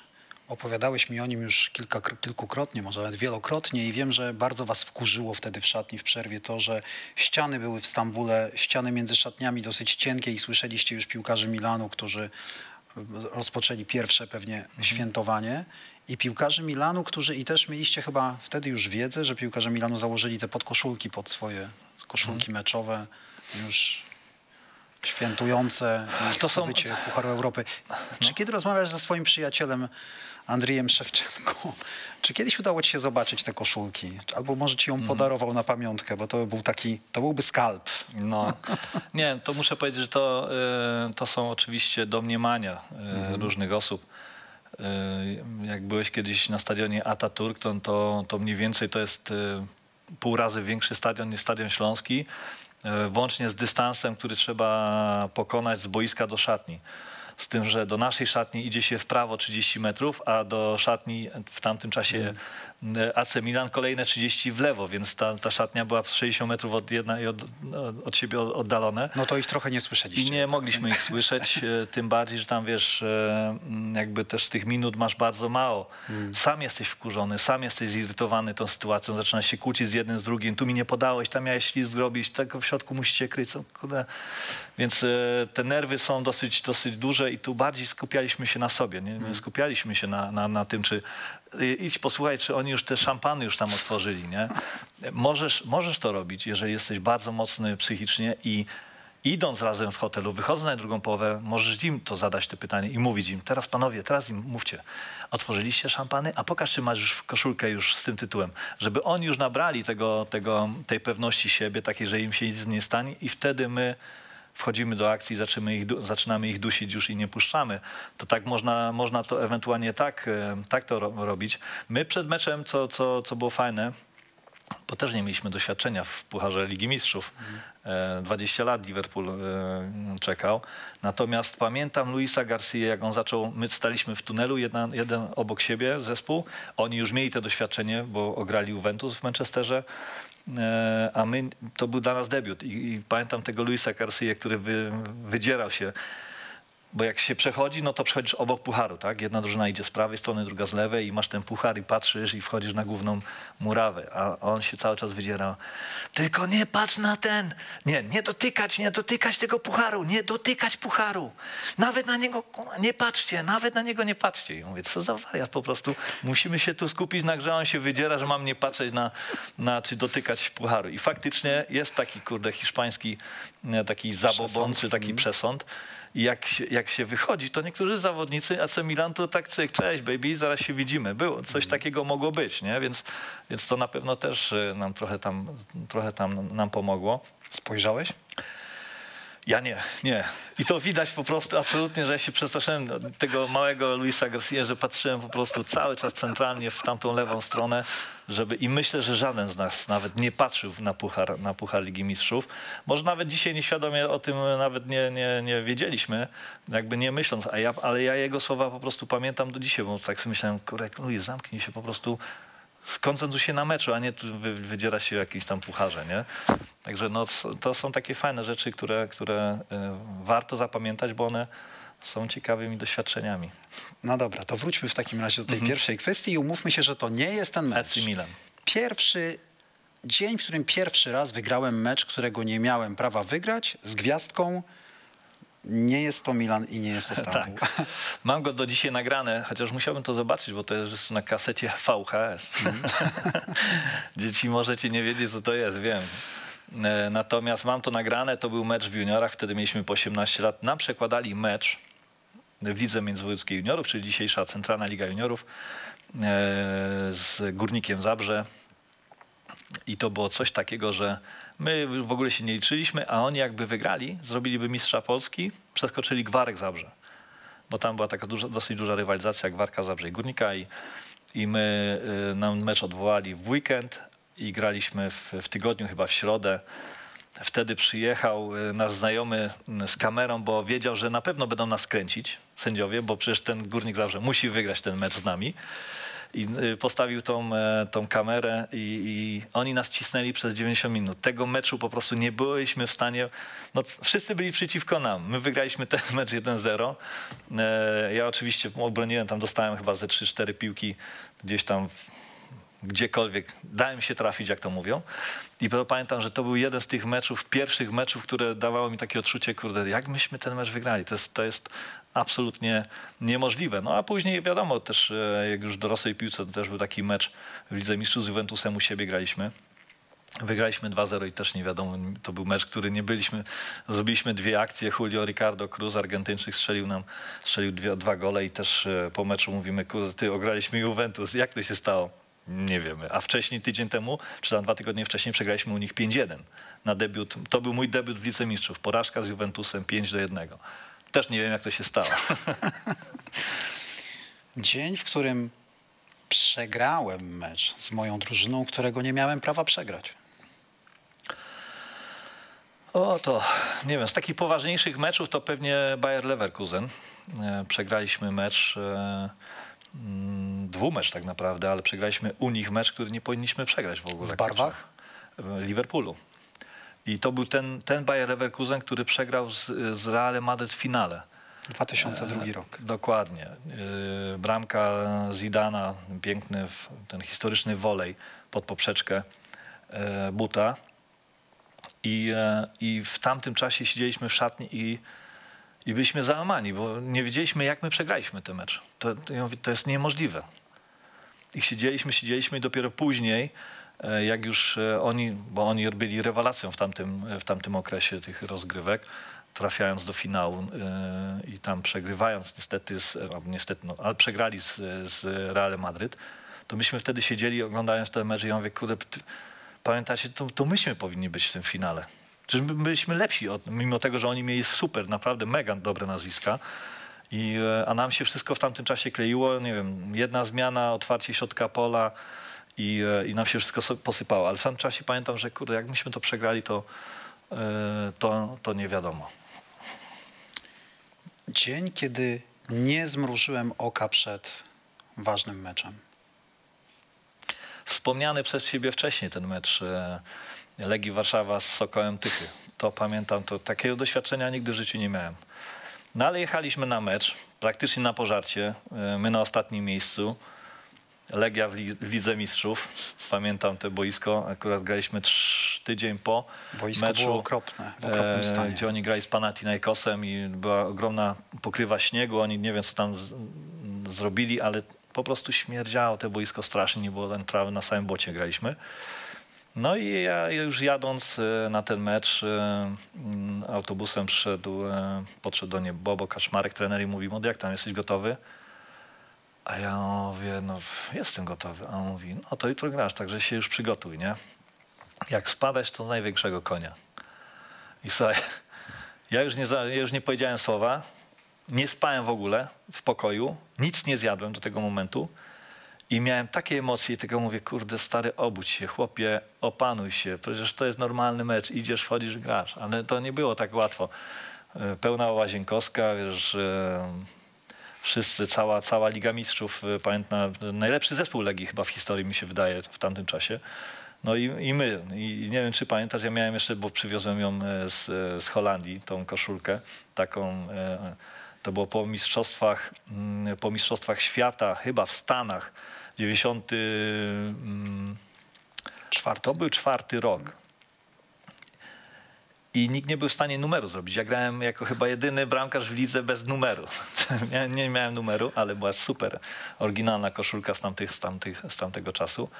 E, I mimo tego, że przegraliśmy 2-0, to ja e, miałem kilka takich interwencji, które jakby dały mi dużo, dużo pewności siebie na, na późniejsze mecze. Chociaż łatwo, łatwo nie było, bo wiadomo, że ten stan boiska zawsze przeszkadza e, napastnikom, ale również bramkarzom, tak? I, i, i pamiętam to, że w tamtym czasie no, to była taka pierwsza moja noc człowiek się cały czas uczył siebie, nowego, nowego jakby wiesz, takiego, takiej konfrontacji na stres, na to, co cię zaskoczy i, i ja cały czas coś nowego u siebie odkrywałem i to była jedna z tych, z tych takich nowych lekcji. Chciałbym cię tutaj zapytać w ty, przy tej okazji o, już o tym wspominałeś kilkadziesiąt minut temu, o bramkarza jako o zawód, bo wy faktycznie uprawiacie trochę inną dyscyplinę sportu niż pozostała drużyna. No jesteście trochę, upraszczając sprawę, trochę saperami. E, tobie się zdarzało, teraz jest takie modne słowo wśród sportowców, wizualizować sobie mecze przed, przed spotkaniami, czy narzucałeś na siebie tę presję, już będąc starszym, dużo bardziej doświadczonym zawodnikiem, czy raczej się tego wystrzegałeś, bo jest to niebezpieczne dla, dla bramkarza? Nie wiem, gdzie to może być niebezpieczne. E, to jest e, wizualizacja wiesz, już jak już jedziesz, bo jak już jedziesz autobusem tam gdzieś, ja tak lubiłem sobie zamknąć oczy, nie spać, ale wyłączyć się tak e, na, na, kilka, na kilka minut, kilkanaście minut i w tym czasie jakby bo jakby no masz jedną odprawę, drugą odprawę na temat przeciwnika, czyli mniej więcej wiesz te schematy, jak one mogą wyglądać, jak wyglądają rzuty rożne, rzuty wolne, yy, z których stron oni wyprowadzają te ataki, jak poszczególni zawodnicy strzelają, czy kąśliwie, czy z bliska, czy szuka, więc to mniej więcej wiesz i ja taką wizualizację zawsze sobie prowadziłem, nawet jak już wychodziłem na boisko, to chciałem zobaczyć, jak światła wyglądają, czy z tego rzutu rożnego, będę, jak będę wychodził, na mniej więcej, gdzie ta piłka, tak jak ta lampa tutaj, gdzie ta piłka może ci po prostu zniknąć w tych światłach. Więc to są rzeczy, które sobie mniej więcej tam e, musisz szybko zanalizować, żeby cię nic nie zaskoczyło. I taka wizualizacja była absolutnie na, na porządku dziennym u mnie. E, I, I to było, później to, to, to wizualizację jakby spotkałem w sportach motorowych, że też zamykasz oczy przed startem i masz tych 14 zakrętów mniej więcej, analizujesz sobie jak jedziesz i teraz w golfie jest dosłownie to samo. Musisz zwizualizować sobie trajektorię tego lotu, jak chcesz uderzyć tą piłkę, jak musi ona się odbić gdzieś, więc to wszystko, e, to co wcześniej robiłem jako, jako bramkarz, e, to się w sporcie dzieje, teraz się dzieje, tak? Są psychologowie sportu i tak dalej, którzy cię jakby cały czas uświadamiają, można tak powiedzieć, bo nie chcę powiedzieć, żeby zrobić, mają z siebie zrobić twardziela. Głównie chodzi o to, żeby, żeby twój mózg kilka, e, dostał kilka odpowiedzi na kilka nurtujących pytań. Dzień, kiedy poczułem się niezwyciężony. to, to, na pewno, bo ja mówiłem ci o tym wcześniej, ale to na pewno po meczu za C Milan, że jak już podniosłem ten puchar, to pierwszy raz w życiu sobie powiedziałem, Powiedz to. Powiedz sam do siebie teraz, że jesteś ok, że jesteś dobry, że wreszcie zrobiłeś coś fajnego. To jest ten jeden raz, kiedy się poczułeś zadowolony, rozumiem? Tak, to był ten jeden raz, gdzie byłem z siebie zadowolony, gdzie nie szukałem już, a mogłem coś tam lepiej zrobić. A pewnie, że mogłem. A kto kogo to będzie teraz interesować? Ale wcześniej rzeczywiście tak, e, tak robiłem, że bardziej nastawiałem się na te rzeczy, gdzie mogłem coś lepiej zrobić, niż na te dobre, obronione sytuacje, e, że gdzieś tam mogłem wybić lepiej, lepiej piłkę, że na przykład na prawą nogę e, ta, to rozgrywanie piłki mi gorzej wychodziło, co mogę zrobić, żeby to było lepsze. Ale w tamtym czasie to był ten jeden, jedyny moment w moim życiu, że powiedziałem sobie, możesz być z siebie Jersey zadowolony. Dzień, kiedy pierwszy raz zjadły mnie na boisku nerwy. O, mm, wiesz co, to, to, to mogło być na ostatnim moim meczu pożegnalnym e, w reprezentacji Polski. E, graliśmy z Liechtensteinem w Krakowie.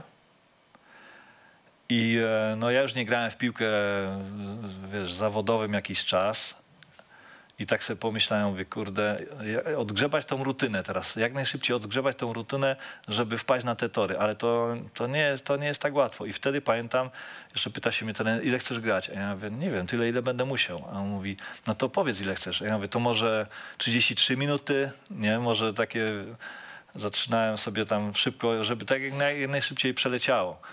E, a powinien podejść do tego, że chcę grać cały mecz, że chcę, e, to, to jest mój ostatni mecz, ale to, to nie był.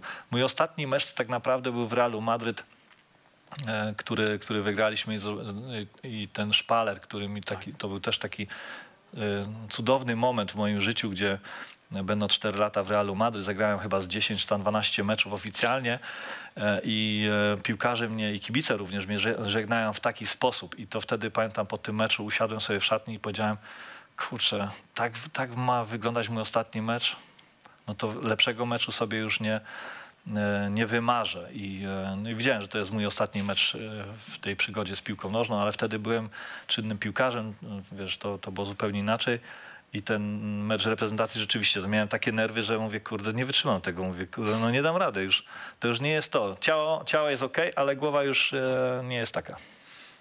Chciałbym cię teraz zapytać o dzień, kiedy pierwszy raz pomyślałeś sobie, że być może kariera zbliża się do końca. E, To było odkładane tak naprawdę. E, Natomiast to w ogóle i tak się prze- przedłużyło bardzo długo, bo ja grając e, w Rotterdamie, zaczynałem już tam gdzieś jakieś szlify nabierać, to sobie pomyślałem, mówię, okej, jeszcze tu 6-7 lat, jak będę miał 33 lata, 32-33, to, to na pewno kończę, nie? Nie będę się bawił w to dłużej, wracam do Polski i kończę. No ale to się tak trochę inaczej e, potoczyło. Potem już wiesz, że idziesz na fali tak naprawdę i, e, i jak już podpisałem umowę z Realem Madryt, to mówię, a, okej, e, jak mi dacie dwa lata, to przyjdę do was. No i oni mi dali oczywiście dwa lata, ja po roku chciałem odejść. Więc tak trochę na przekór sobie. Zostałem po tym drugim roku. Mm, Potem zostałem jeszcze trzeci rok, jeszcze umowę zobaczyłem. Już moja żona już dziećmi była spakowana i oni zadzwonili, jakby wiesz, e, i mówili, że Jurek, słuchaj, jesteś trzy lata, ale chcielibyśmy, żebyś został. Chciałbyś zostać jeszcze? A ja mówię do prezesa, mówię, słuchaj, moja żona już jest w Polsce, już jestem prawie spakowany, wszystko jest przygotowane do tego, że raczej nie, nie będę już z wami na przyszły sezon. A jakby przyszedł nowy sezon, nowy trener, a przyjdzie nowy trener, my ci nie, znaczy, możemy ci to powiedzieć, kto przyjdzie, ale ty nie możesz nikomu powiedzieć, to będzie Mourinho. Pellegrini za dwa tygodnie zostanie zwolniony. To jakby Mourinho się zgodził, żebyś został z nami, to zostałbyś z nami? A ja mówię, jak Mourinho się zgodzi, to ja na pewno wracam i moja żona, na pewno wszyscy wracam, to o to się nie martw. A on mówi, super, to teraz jedź sobie na wakacje i, e, i będziemy z tobą w kontakcie. No i w pewnym momencie tam, nie wiem, to był e, pierwszy tydzień moich wakacji w Polsce, to, bo to się długo nie utrzymało, zwolnili Pellegriniego po tygodniu i tam w dziesiąty dzień e, po tym, jak rozmawiałem z prezesem, to zadzwonił do mnie i mówi, słuchaj, bo mam tutaj nowego trenera, chciał z tobą porozmawiać. No i mówi, cześć Jurek, tutaj Mo, słuchaj, słyszałem dobre, pozytywne opinie o tobie, chcielibyśmy, żebyś został z nami na jeszcze jeden sezon, będzie nam fajnie, jak zostaniesz. A ja mówię, super trenerze, nie? To, to, to z miłą chęcią. On mówi, kontynuuj e, mm, swoje wakacje, umowę mamy dżentelmeńską, nie musisz nic przyjeżdżać, podpisywać, obojętnie co się nie dzieje, chcemy cię na jeszcze jeden rok. No i tak się zaczęła moja ostat, mój ostatni rok w Realu Madryt, w którym ja już wiedziałem, że to będzie mój ostatni, ostatni sezon. Dzień, kiedy pierwszy raz nie doceniłem swojego rywala. Mm, To chyba nie na tej pozycji. To chyba nie na tej pozycji, bo y, ja pamiętam y, na bramce, nawet jak grasz puchar z trzecią ligą, tak w Realu Madryt graliśmy z, y, z tam, przeważnie graliśmy z trzecią ligą w tej pierwszej rundzie, no to stary, no to, to wiadomo, że wszyscy będą zlewać ten mecz, tylko ty go nie możesz zlać po prostu, mimo tego, że wie, że to jest tylko trzecia liga, ale tamci są mega zmobilizowani. Cała wieś stoi po prostu i czeka na ten moment, a tu chłopcy chcą sobie pobiegać delikatnie, jakiś rozruch robić 90 minut. Najwyżej puścisz 5, będzie na ciebie, no nie? Więc e, oczywiście tak, tak to zawsze wygląda. E, to, to nie, to ja nigdy nie miałem tego, takiego momentu, że jadę gdzieś i on mówi, okej, do dzisiaj będzie luźniutko. Na tej pozycji bramkarz, nawet jak, jak wie, że cały zespół jest luźny, no to musisz wszystkich zmobilizować, bo to wpadnie na twoje plecy. To ty musisz zawsze być zmobilizowany, bo tu oczywiście inaczej strzela Ronaldo, inaczej zawodnik trzecioligowy, ale większy obciach jest, jak ci strzeli ten zawodnik z trzeciej ligi niż Cristiano Ronaldo. To w takim razie tak. Dzień, kiedy pierwszy raz swojego rywala znienawidziłem. No, jeśli to za mocne słowo, to znielubiłem. Okej. No bo tak, bo znienawidzić to, to, to to raczej nie. Wiadomo, y, respekt należy się wszystkim. No ja grałem w takich y, klubach, gdzie rywalizacja była bardzo mocna. E, Jakby te derby. W Rotterdamie były derby z Ajaxem Amsterdam, no to historie są różnego rodzaju, nie, na, nie do powiedzenia na temat rywalizacji kibiców i samych zawodników. Potem wiadomo Liverpool, Manchester. To można powiedzieć, że miałem taki moment, e, że jak słyszałem For, Forlan, Diego Forlan, to miałem po prostu nieprzespaną noc. To mogę tak powiedzieć. I to, i to, y, i to było doświadczenie dla mnie, y, można powiedzieć, no, że ja się z tego po, podniosłem w ogóle, to no to, to szapoba, to nie wiem, co, co natchnęło. Może moja babcia gdzieś to wymodliła, patrząc codziennie na wieżyczkę kościoła i, i, i martwiąc się o to, jak ten wnuczek sobie tam za granicą daje radę, no to faktycznie to, to Diego Forlan, mimo tego, że się widzieliśmy już później parę razy i nie wiem, czy on to pamięta, pewnie pamięta tą, tą bramkę, e, bo on też nie miał jakoś specjalnie dobrego momentu na Wyspach wtedy w Manchester United, ale strzelił mi gola i to jest dla niego było ważne, ale, ale dobił mnie i po prostu i, e, i zostawił mnie na kilka dobrych, kilka dobrych tygodni na, rozłożonego na łopatkach, tak można powiedzieć. To jest chyba jedna z najsłynniejszych, e, no, jeden, jeden z ważniejszych momentów twojej kariery, co tutaj dużo kryć, ten gol puszczony z Manchesterem United. Kto nie wie, niech na pewno gdzieś sobie w sieci go znajdzie. Chciałbym cię przy tej okazji zapytać, trochę odejść od formularza i zapytać go, zapytać cię o, e, o hejt, który wtedy być może jeszcze nie był nazywany hejtem w, w, tym, w tego słowa rozumieniu, jakiego znamy dzisiaj. To było parę ładnych lat temu. Niemniej angielskie media, jak wiemy, angielskie brukowce są bezlitosne i nie zostawiły wtedy na tobie e, suchej nitki. No, rozwalcowały cię, pokroiły na kawałki, jeszcze raz rozwalcowały i jeszcze raz pokroiły. Jak ty wtedy sobie radziłeś z tamtymi, w tamtych momentach? Jak, jak, jak się zachować? Odciąć się od tego, czy wręcz przeciwnie, pójść na, na zderzenie, bo i tak to kiedyś do ciebie wróci? No to wiesz, to od razu na zderzenie musisz iść. E, Jakby na konfrontację taką. Ja e, wtedy akurat trenerem był Gerard Hulier. Ja skończyłem mecz. Przyjechało do mnie kilku przyjaciół z Polski. Chcieli się po meczu ze mną spotkać. Mieliśmy restaurację ustawioną już. Mieliśmy wykonać rutynę po meczu, czyli spotkanie rodzinne, jakieś dobre jedzonko, pośmiać się, pogadać, przeanalizować e, mecz i, e, i wrócić do zajęć od następ, na następny dzień. Natomiast to był zupełnie inny dzień. Ja wróciłem do domu. Najpierw e, ja wróciłem do domu chyba po dwóch i pół godzinach. Mówiliśmy o tym e, pierwszym płaczu. No to wtedy ja pierwszy raz płakałem e, jakby na me, po meczu, e, autentycznie mówiąc, dlaczego mnie to się przydarzyło dlaczego akurat mnie to się przydarzyło. Bo nie, nie, ja byłem tak skoncentrowany, bo wiedziałem, że jestem e, trochę słabszej formie fizycznej, że e, spada moja koncentracja, że, że e, bramkarz trochę jak napastnik musi mieć tą świeżość, żeby w decydującym momencie, wiesz, wykorzystać tą intuicję. I mnie tego brakowało. I ja trenowałem trzy razy tre- ciężej na treningach, żeby czasem nie dać komuś argumentu do tego, żeby powiedział, "E, on po mistrzostwach świata jest zmęczony, trzeba go, wiesz, dać mu odpocząć. Cały czas przychodził do mnie Julia i mówi, jak się czujesz? Ja mówię, super się czuję. Na pewno się dobrze czujesz? Na pewno dobrze się czuję. Nie byłem typem zawodnika, który powiedział, wie pan co, źle się czuję, chciałbym odpocząć miesiąc, jadę do Polski. Nie, absolutnie. I, e, I w tamtym momencie, jak już na, powiedzmy, na mnie spadła ta tragedia i leżałem wywalonymi oczami do góry, to sobie pomyślałem, mówię, teraz kurde, będziesz miał spokój. No, chciałeś ten odpoczynek, to go masz. No i, e, no i siedziałem w tej szatni, przeżywałem tą tragedię swoją. Pytałem się trenera bankarza, mówię, Joe, kurde, jak to się stało? Czy ty widziałeś w ogóle, że ja byłem sł- słabo przygotowany? Mówi, ty byłeś najlepszy. Byłeś najlepszy. Ja nie wiem, jak to się stało, kurde. No i siedziałem, no i nic. Przyjechałem do domu chyba po trzech godzinach, a wszyscy dzwonią. Koledzy, gdzie jesteś? Tego ja mówię, przykro mi, chcę zostać sam w domu, nigdzie nie, się nie wybieram.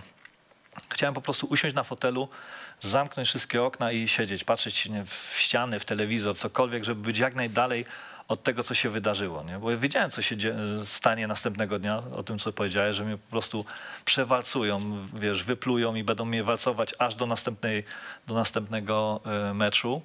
E, i powiedziałem, że nie wychodzę. Ale oni mówią, słuchaj, przyjechaliśmy kurde specjalnie dla ciebie, to chociaż przyjedź do nas na piwko, zamkniemy się w pokoju, pogadamy. I ja się zdecydowałem na ten ruch. Pojechałem wtedy do tych moich kolegów, e, wpadliśmy do nich do pokoju i ja słuchaj, północy z nimi sobie spokojnie przegadałem o tym piwku, o różnych innych rzeczach. Jakby wiesz, nie zostałem sam tak naprawdę. No ale okej, rano się, obudziłem się i życie nie, nie, to nie został. bajka po prostu, nie? Dalej to samo. Musisz wrócić do rzeczywistości. No i przyjechałem na trening i widziałem, że już jest bardzo ciężko. E, Wszyscy patrzą, gazety, te nagłówki, nawet chyba już chowali przede mną te gazety wszystkie, żebym nie zobaczył czegoś. E, No i przychodzi asystent Phil Thompson i mówi, słuchaj, boss chce z tobą rozmawiać. Ja mówię, a co mi chce powiedzieć, że zawaliłem mecz wczoraj? Niech mi da spokój. Nie, nie idź z nim pogadaj. Ja mówię, weź, mówię, Phil, kurde, daj mi spokój. Mówię, ja chcę tutaj spokojnie iść pod prysznic, nie wiem, pod, na masaż do basenu, utopić się. A on mówi, nie, nie, idź do niego, idź, idź, wołać. No to wchodzę do niego na ten czerwony dywanik, bo faktycznie w sensie czerwony, bo z kolorów naszego klubu tak to wyglądało. I mówi, jak się czujesz, Jersey? A ja mówię, trenerze, fatalnie. A on mówi, no nie wyglądasz dobrze, no nie wyglądam dobrze. Słuchaj, cały świat wie, że zawaliłeś tą bramkę, zawaliłeś nam mecz. Ale my, ty wiesz, że my w środę gramy? A ja mówię, trenerze, nie ma takiej możliwości. W środę gramy mecz i wchodzisz i grasz w tym meczu. A ja mówię, niech pan zobaczy, kurwa. Mnie się dłonie trzęsą. Ja nie dam rady. A on mówi, słuchaj, jesteś jak małe dziecko, które się uczy jazdy na rowerze.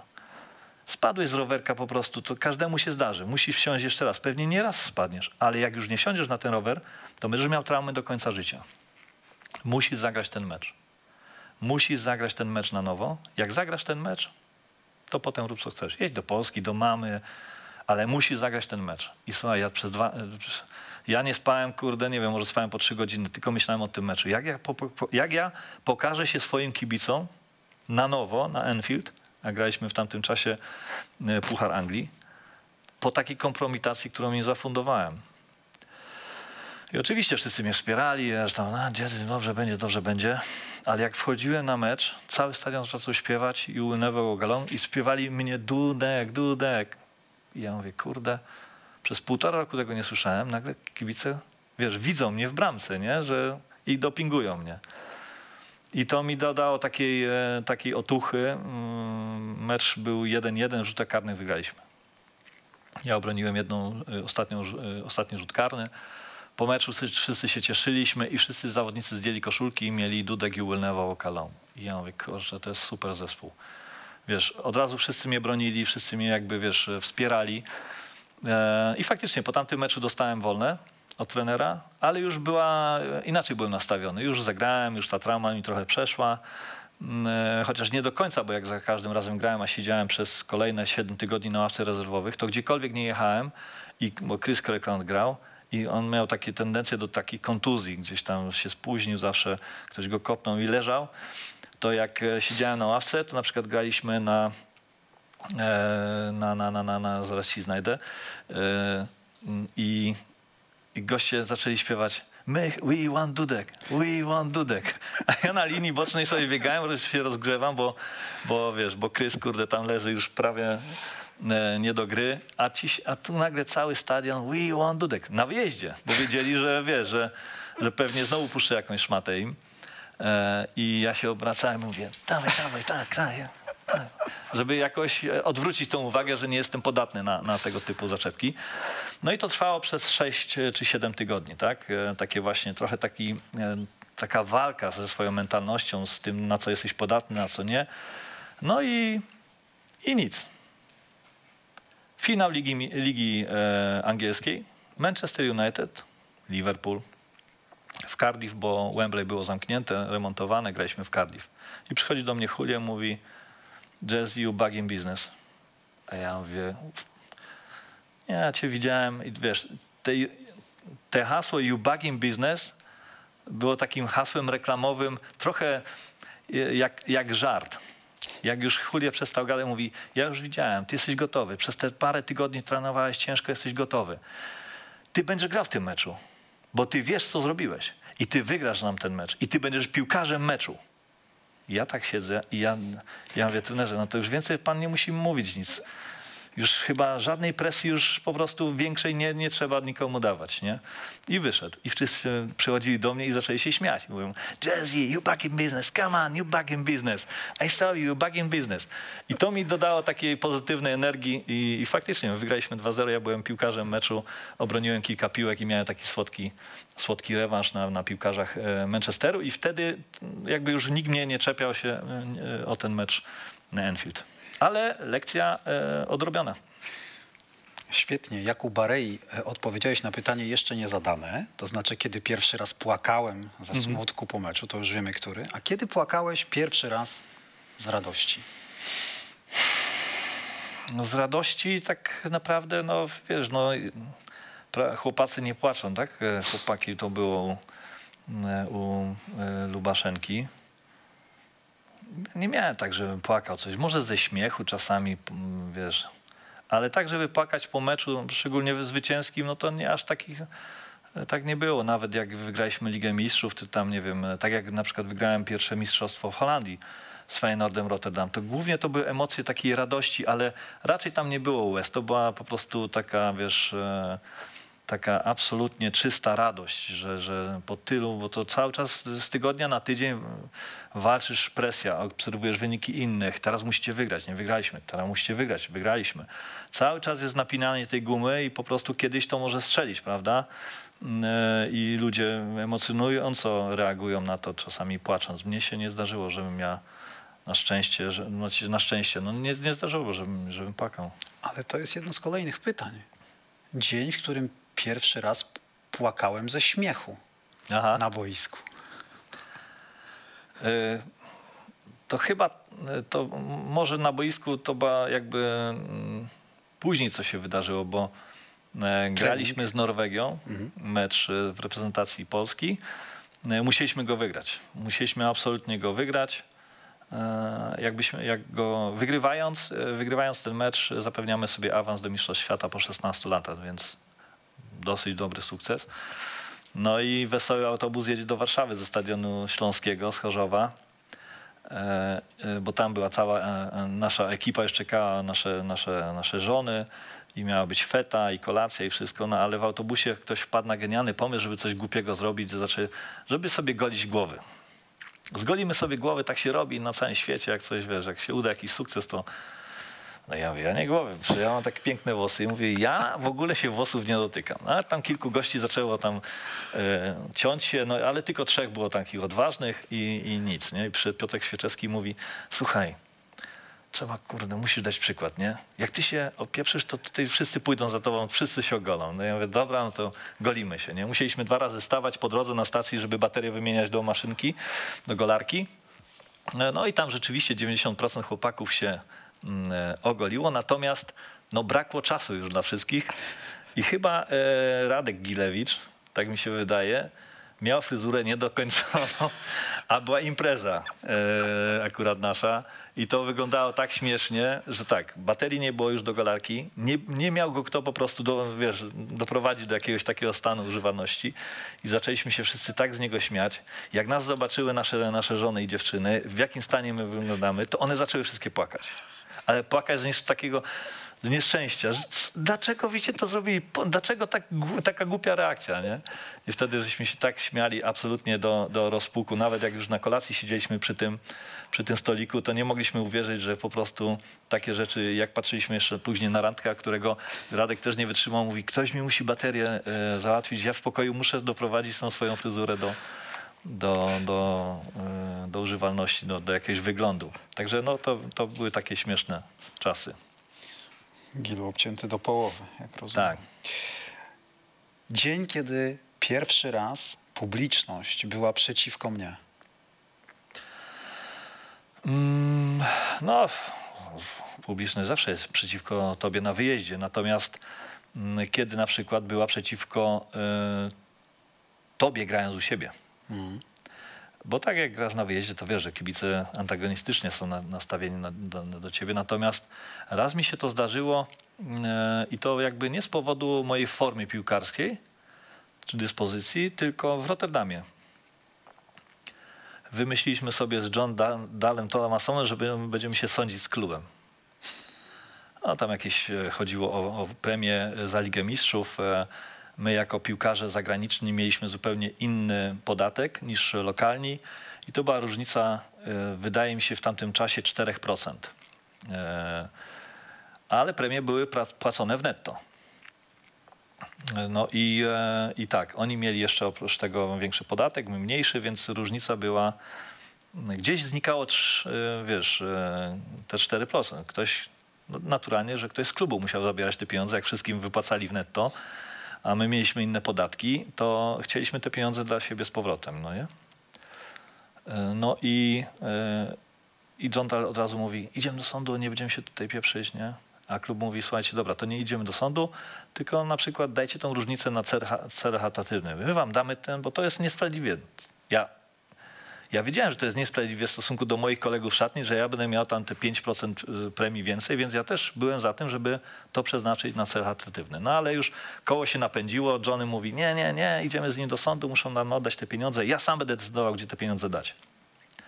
No i słuchaj, jak ruszyła ta machina, gazety, że jesteśmy wilki na pieniądze nie? i tak dalej, gdzie ja raczej byłem szanowaną osobą w Rotterdamie. Słuchaj, to, to było tak nakręcone w pewnym momencie, że gramy u siebie mecz i cały stadion przy każdym za każdym razem jak miałem e, piłkę przy nodze czy w, w rękach, cały stadion zaczął gwizdać. Ja mówię, pi- co tu się dzieje, kurde. No i oczywiście e, trzy dni po ja, y, poja, y, pojechaliśmy do prezesa i ja mówię, słuchaj, musimy coś z tymi pieniędzmi zrobić. On mówi, dajcie to na szpital, od razu daj to na szpital. No to ja komunikat, daję to na szpital. Ja nie chcę tych pieniędzy, nigdy ich nie chciałem. Damy tutaj na y, San, y, Santa Clara, chyba jest obok Rotterdamu, Feyenoordu, Rotterdam, ten szpital. Daliśmy te pieniądze im. No i zaraz, wiesz, John Dahl do mnie dzwoni. Dlaczego rozdajesz moje pieniądze? To ja chcę rozdać, bo walczymy z nimi, już byśmy ich mieli. No i tu tak jesteś pomiędzy motem a kowadłem, tu chcesz dobrze, temu nie pomożesz. Ale w tamtym czasie powiedziałem sobie, kurde, to była najgłupsza decyzja, jaką zrobiłem, że wystąpiłem przeciwko swojemu klubowi, nawet, bo to nie były jakieś wielkie pieniądze, powiedzmy, ale na, w, takim, w takim sensie, że, że nie ma szans. Jesteś po prostu z góry na, na straconej pozycji i nie warto się po prostu sądzić o te, o te, o te parę groszy. Teraz będzie dobre, uważaj. Dzień, kiedy pierwszy raz skłamałem dziennikarzowi podczas wywiadu. Chciałem powiedzieć dzisiaj, ale Eee, ja bym tego tak nie nazwał. Ja bym powiedział, że przekazałem trochę inną prawdę. Eee, No po meczu wiadomo, że po meczu przegranym zawsze jest tak, że musisz coś powiedzieć innego i, e, i to było często w Liverpoolu mieliśmy, wiesz, zanim jak przegraliśmy mecz albo coś, to zanim wychodziliśmy do mediów, to mieliśmy rzecznika prasowego razem z, e, z trenerem, który mówi, panowie, słuchajcie, nie chcecie rozmawiać, to nie rozmawiajcie. Ale jak macie mówić negatywne rzeczy, to ja bym wolał, żebyście też nie rozmawiali.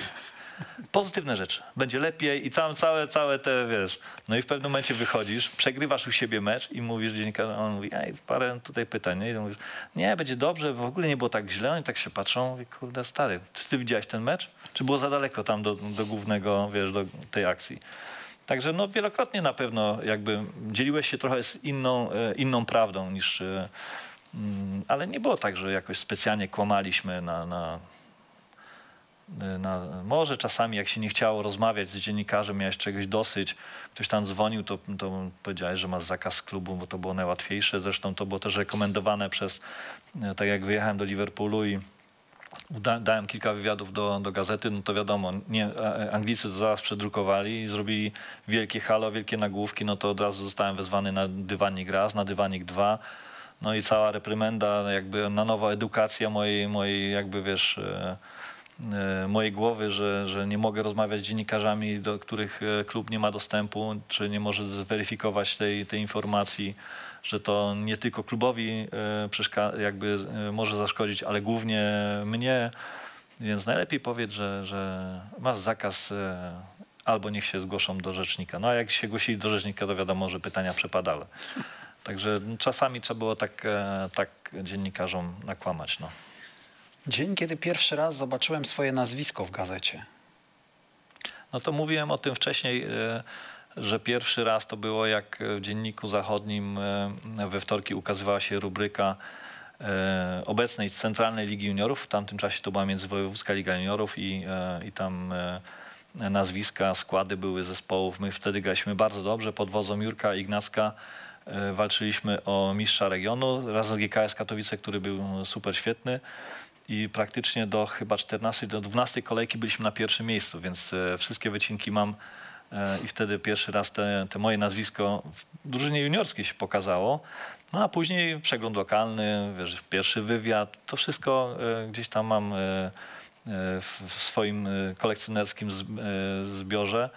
I to było takie, takie każdy kolejny jakby no, większy magazyn, większy dziennik otwierał mi oczy, że to jest możliwe. Kiedyś Marcin Bochenek, jak już mnie miał w trzeciej lidze, powiedział, że to jest najlepszy bramkarz na Śląsku, jaki tu jest. A my graliśmy w tej makroregionie śląskim, więc bardzo trudne zespoły były, bardzo silną e, trzecią ligą byliśmy. I on mi zrobił nazwisko na tą trzecią ligę, że już nie pisał o mnie tylko przegląd lokalny, tylko na przykład też sport napisał o mnie też. Także e, no, każde kolejne doświadczenie było takie wow, napisali o mnie. Dzień, kiedy pierwszy raz poczułem, że jestem popularną osobą.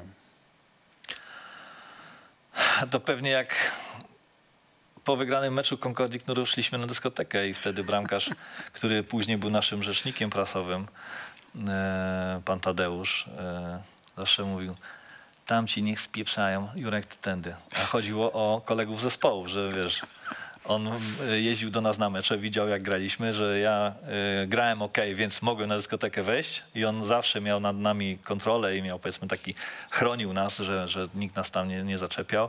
A mówię, a oni nie spadają, albo do kasy, albo niech spadają. Nie? Także wtedy pomyślałem sobie, kurde, chyba, chyba już zaczynam być popularny w tym mieście.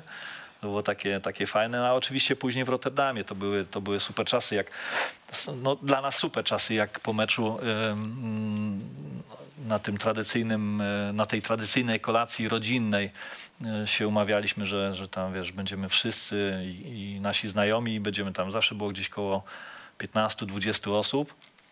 No to zanim e, już tam wszyscy na nas czekali, to my zanim żeśmy dotarli do stolika w tej restauracji, to musieliśmy godzinę rozdawać autografy.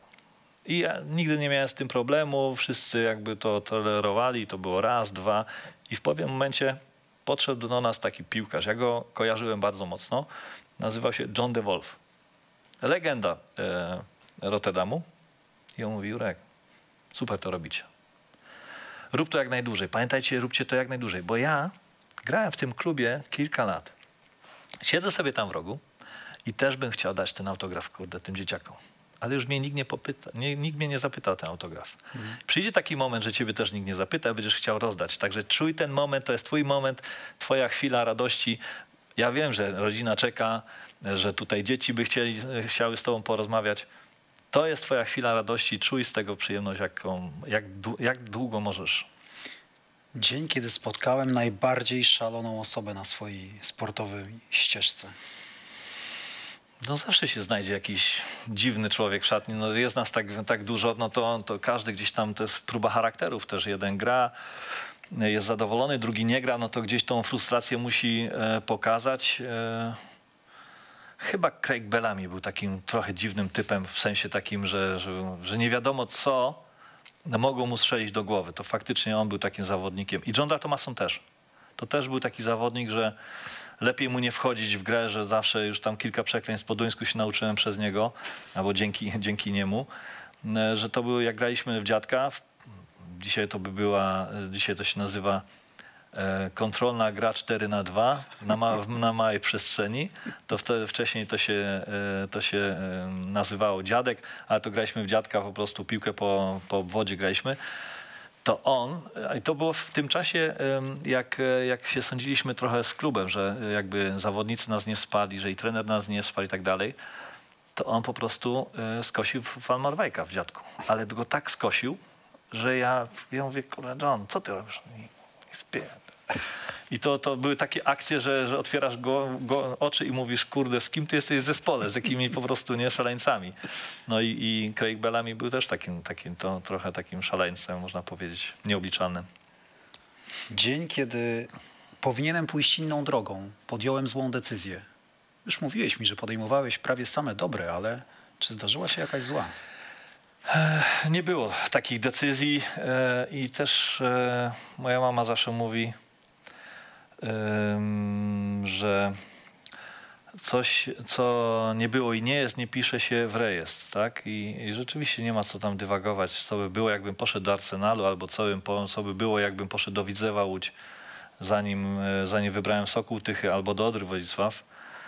E, Raczej to były, to były takie decyzje, że jak już je podejmowałem, to wiedziałem, że mówię, słuchaj, to jest najlepsza decyzja, jaką mogłeś podjąć. Wszystko jest w twoich rękach i e, nie ma czasu na, na jakieś marudzenie tutaj, że mogłeś tam pójść. To mogłeś, to już nie egzystuje. Nie wiadomo, jak tam, jak tam by było, więc e, raczej podejmowałem e, słuszne decyzje. Może nie tak, że przemyślane, bo wyjazd do Holandii to był po prostu na, urodził się na obozie piłkarskim. Zostałem trochę wypchnięty przez moich kolegów z zespołu. bo Powiedzieli, ty pojedziesz, będziesz miał pieniądze, a my może jakąś, jakieś grosze dostaniemy za ciebie i nam ktoś tutaj, wiesz, wreszcie coś zapłaci, bo nam w Tychach nie płacili już od czterech miesięcy. E, Więc to były takie, takie decyzje raczej, e, jak już je podejmowałem, to wiedziałem, że to są dobre decyzje. Dzień, kiedy poczułem się oszukany, niesprawiedliwie potraktowany. Mm. 2006? Przed Mistrzostwami Świata, wyjazd do, do Niemiec, no to w tamtym czasie rzeczywiście, kurczę, pomyślałem sobie, piernicze, o co chodzi? Tysiące telefonów i to różnych ludzi, działaczy z PZPN-u i, i, i po prostu no to, było, to było niewiarygodne. I wtedy poczułem się faktycznie, że, jest, że, że jesteśmy oszukani, że byliśmy oszukani w tamtym. I to au- autentycznie, bo nawet nie chodziło o to, że nie wiem, miałem grać, czy nie grałem, czy coś źle zrobiłem. Kurczę, nie wiem, to, to w, autentycznie w, ta, w tamtym czasie to chyba nas wszystkich zabolało, bo też rozmawialiśmy z innymi chłopakami, z Tomkiem Kłosem, z Tomkiem Frankowskim, z Tomkiem Rząsą. To nie rozumieliśmy tej decyzji i to, to, e, to czuliśmy się oszukani z, z wiadomego powodu, że nas, ja nas nie wziął na Mistrzostwa Świata. I od tego się wzięło te popularne, ale że Dudka na na mundial nie wzięli.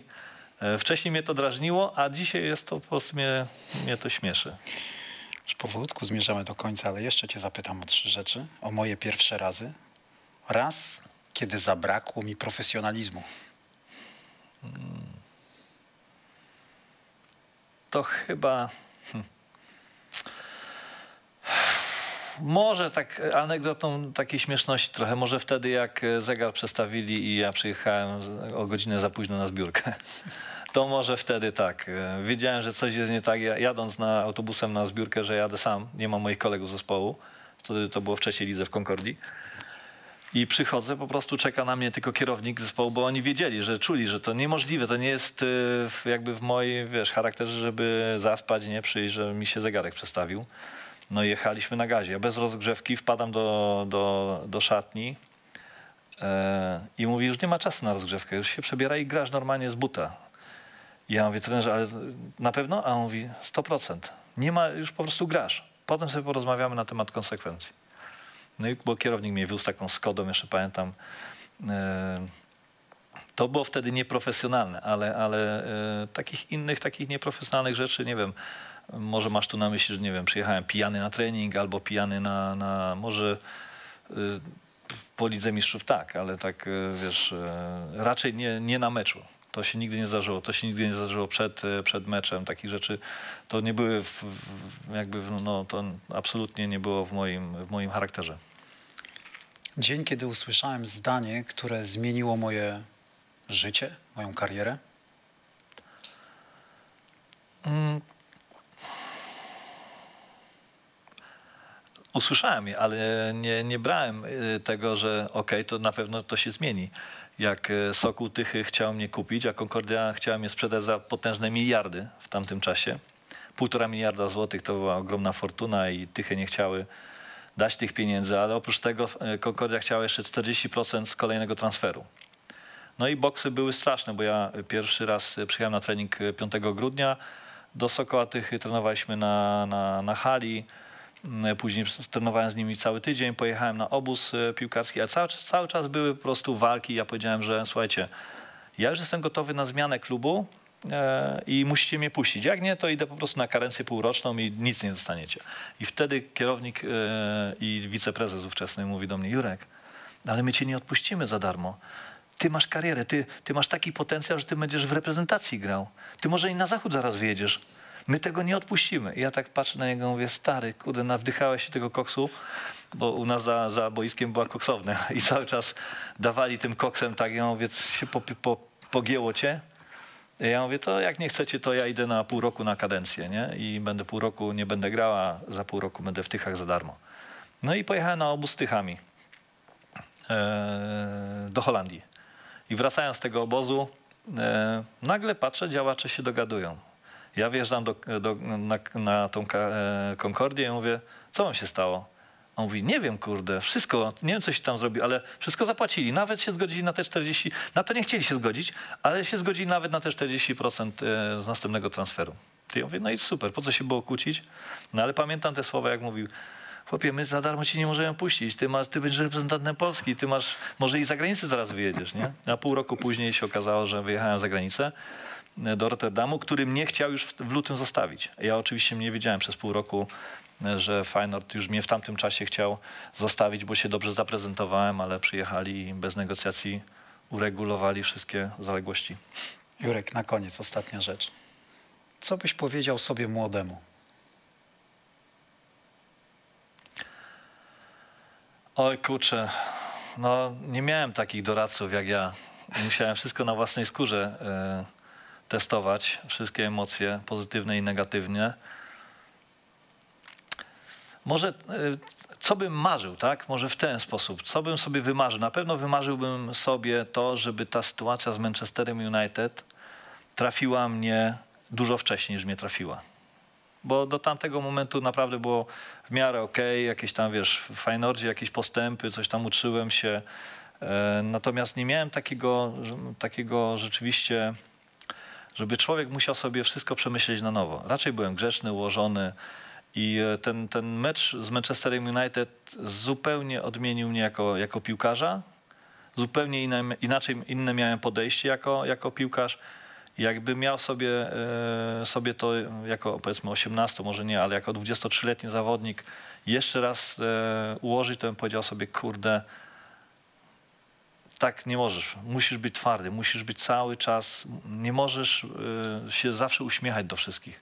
To nie jest po prostu, wiesz, karuzela, bo to będzie za każdym razem wykorzystane przeciwko tobie, więc musisz się jeszcze bardziej skupić na sobie i, e, i w tamtym czasie to ten, ten właśnie ten kop e, tego Manchester United, ta, ta porażka z Manchesterem, która może ja sobie nie zdawałem sprawy z tego, że to jest, że to pójdzie takim echem na cały świat, ale zbudowała mnie jako, jako człowieka. Te po, wiedzenie, które się mówi, że to szczególnie się mówi po kontuzjach, tak? Jak masz kontuzję, że po kontuzji wróci silniejszy, na pewno musisz wrócić silniejszy, to jak w tamtym czasie e, Julio mówi, tu na pewno wróci silniejszy, wróci silniejszy, mówię ci, wróci silniejszy, to ja nie wiedziałem o czym, o czym on mówi, teraz już wiem po prostu, że ja już miałem dużo twardszy charakter, już jakby inaczej reagowałem na pierwsze, na niektóre, na niektóre sprawy. Wcześniej łagodnie, ze śmiechem, bo my mieliśmy z Darkiem, z moim bratem taką jakąś taką naturę, że reagowaliśmy na cały stres, który nas e, wokół e, dotykał, śmiechem. Tak trochę żeśmy się uśmiechali, trochę tak, żeby kamuflować ten strach wewnątrz. I to, i to, e, to nie, nie, jest do końca, nie jest do końca fajne, bo trzeba czasami te emocje uwolnić na zewnątrz, pokazać wszystkim, że człowiek się wkurza, przejmuje i mu zależy. Gościem mojego pierwszego razu był Jersey Dudek. Dziękuję bardzo. Dzięki.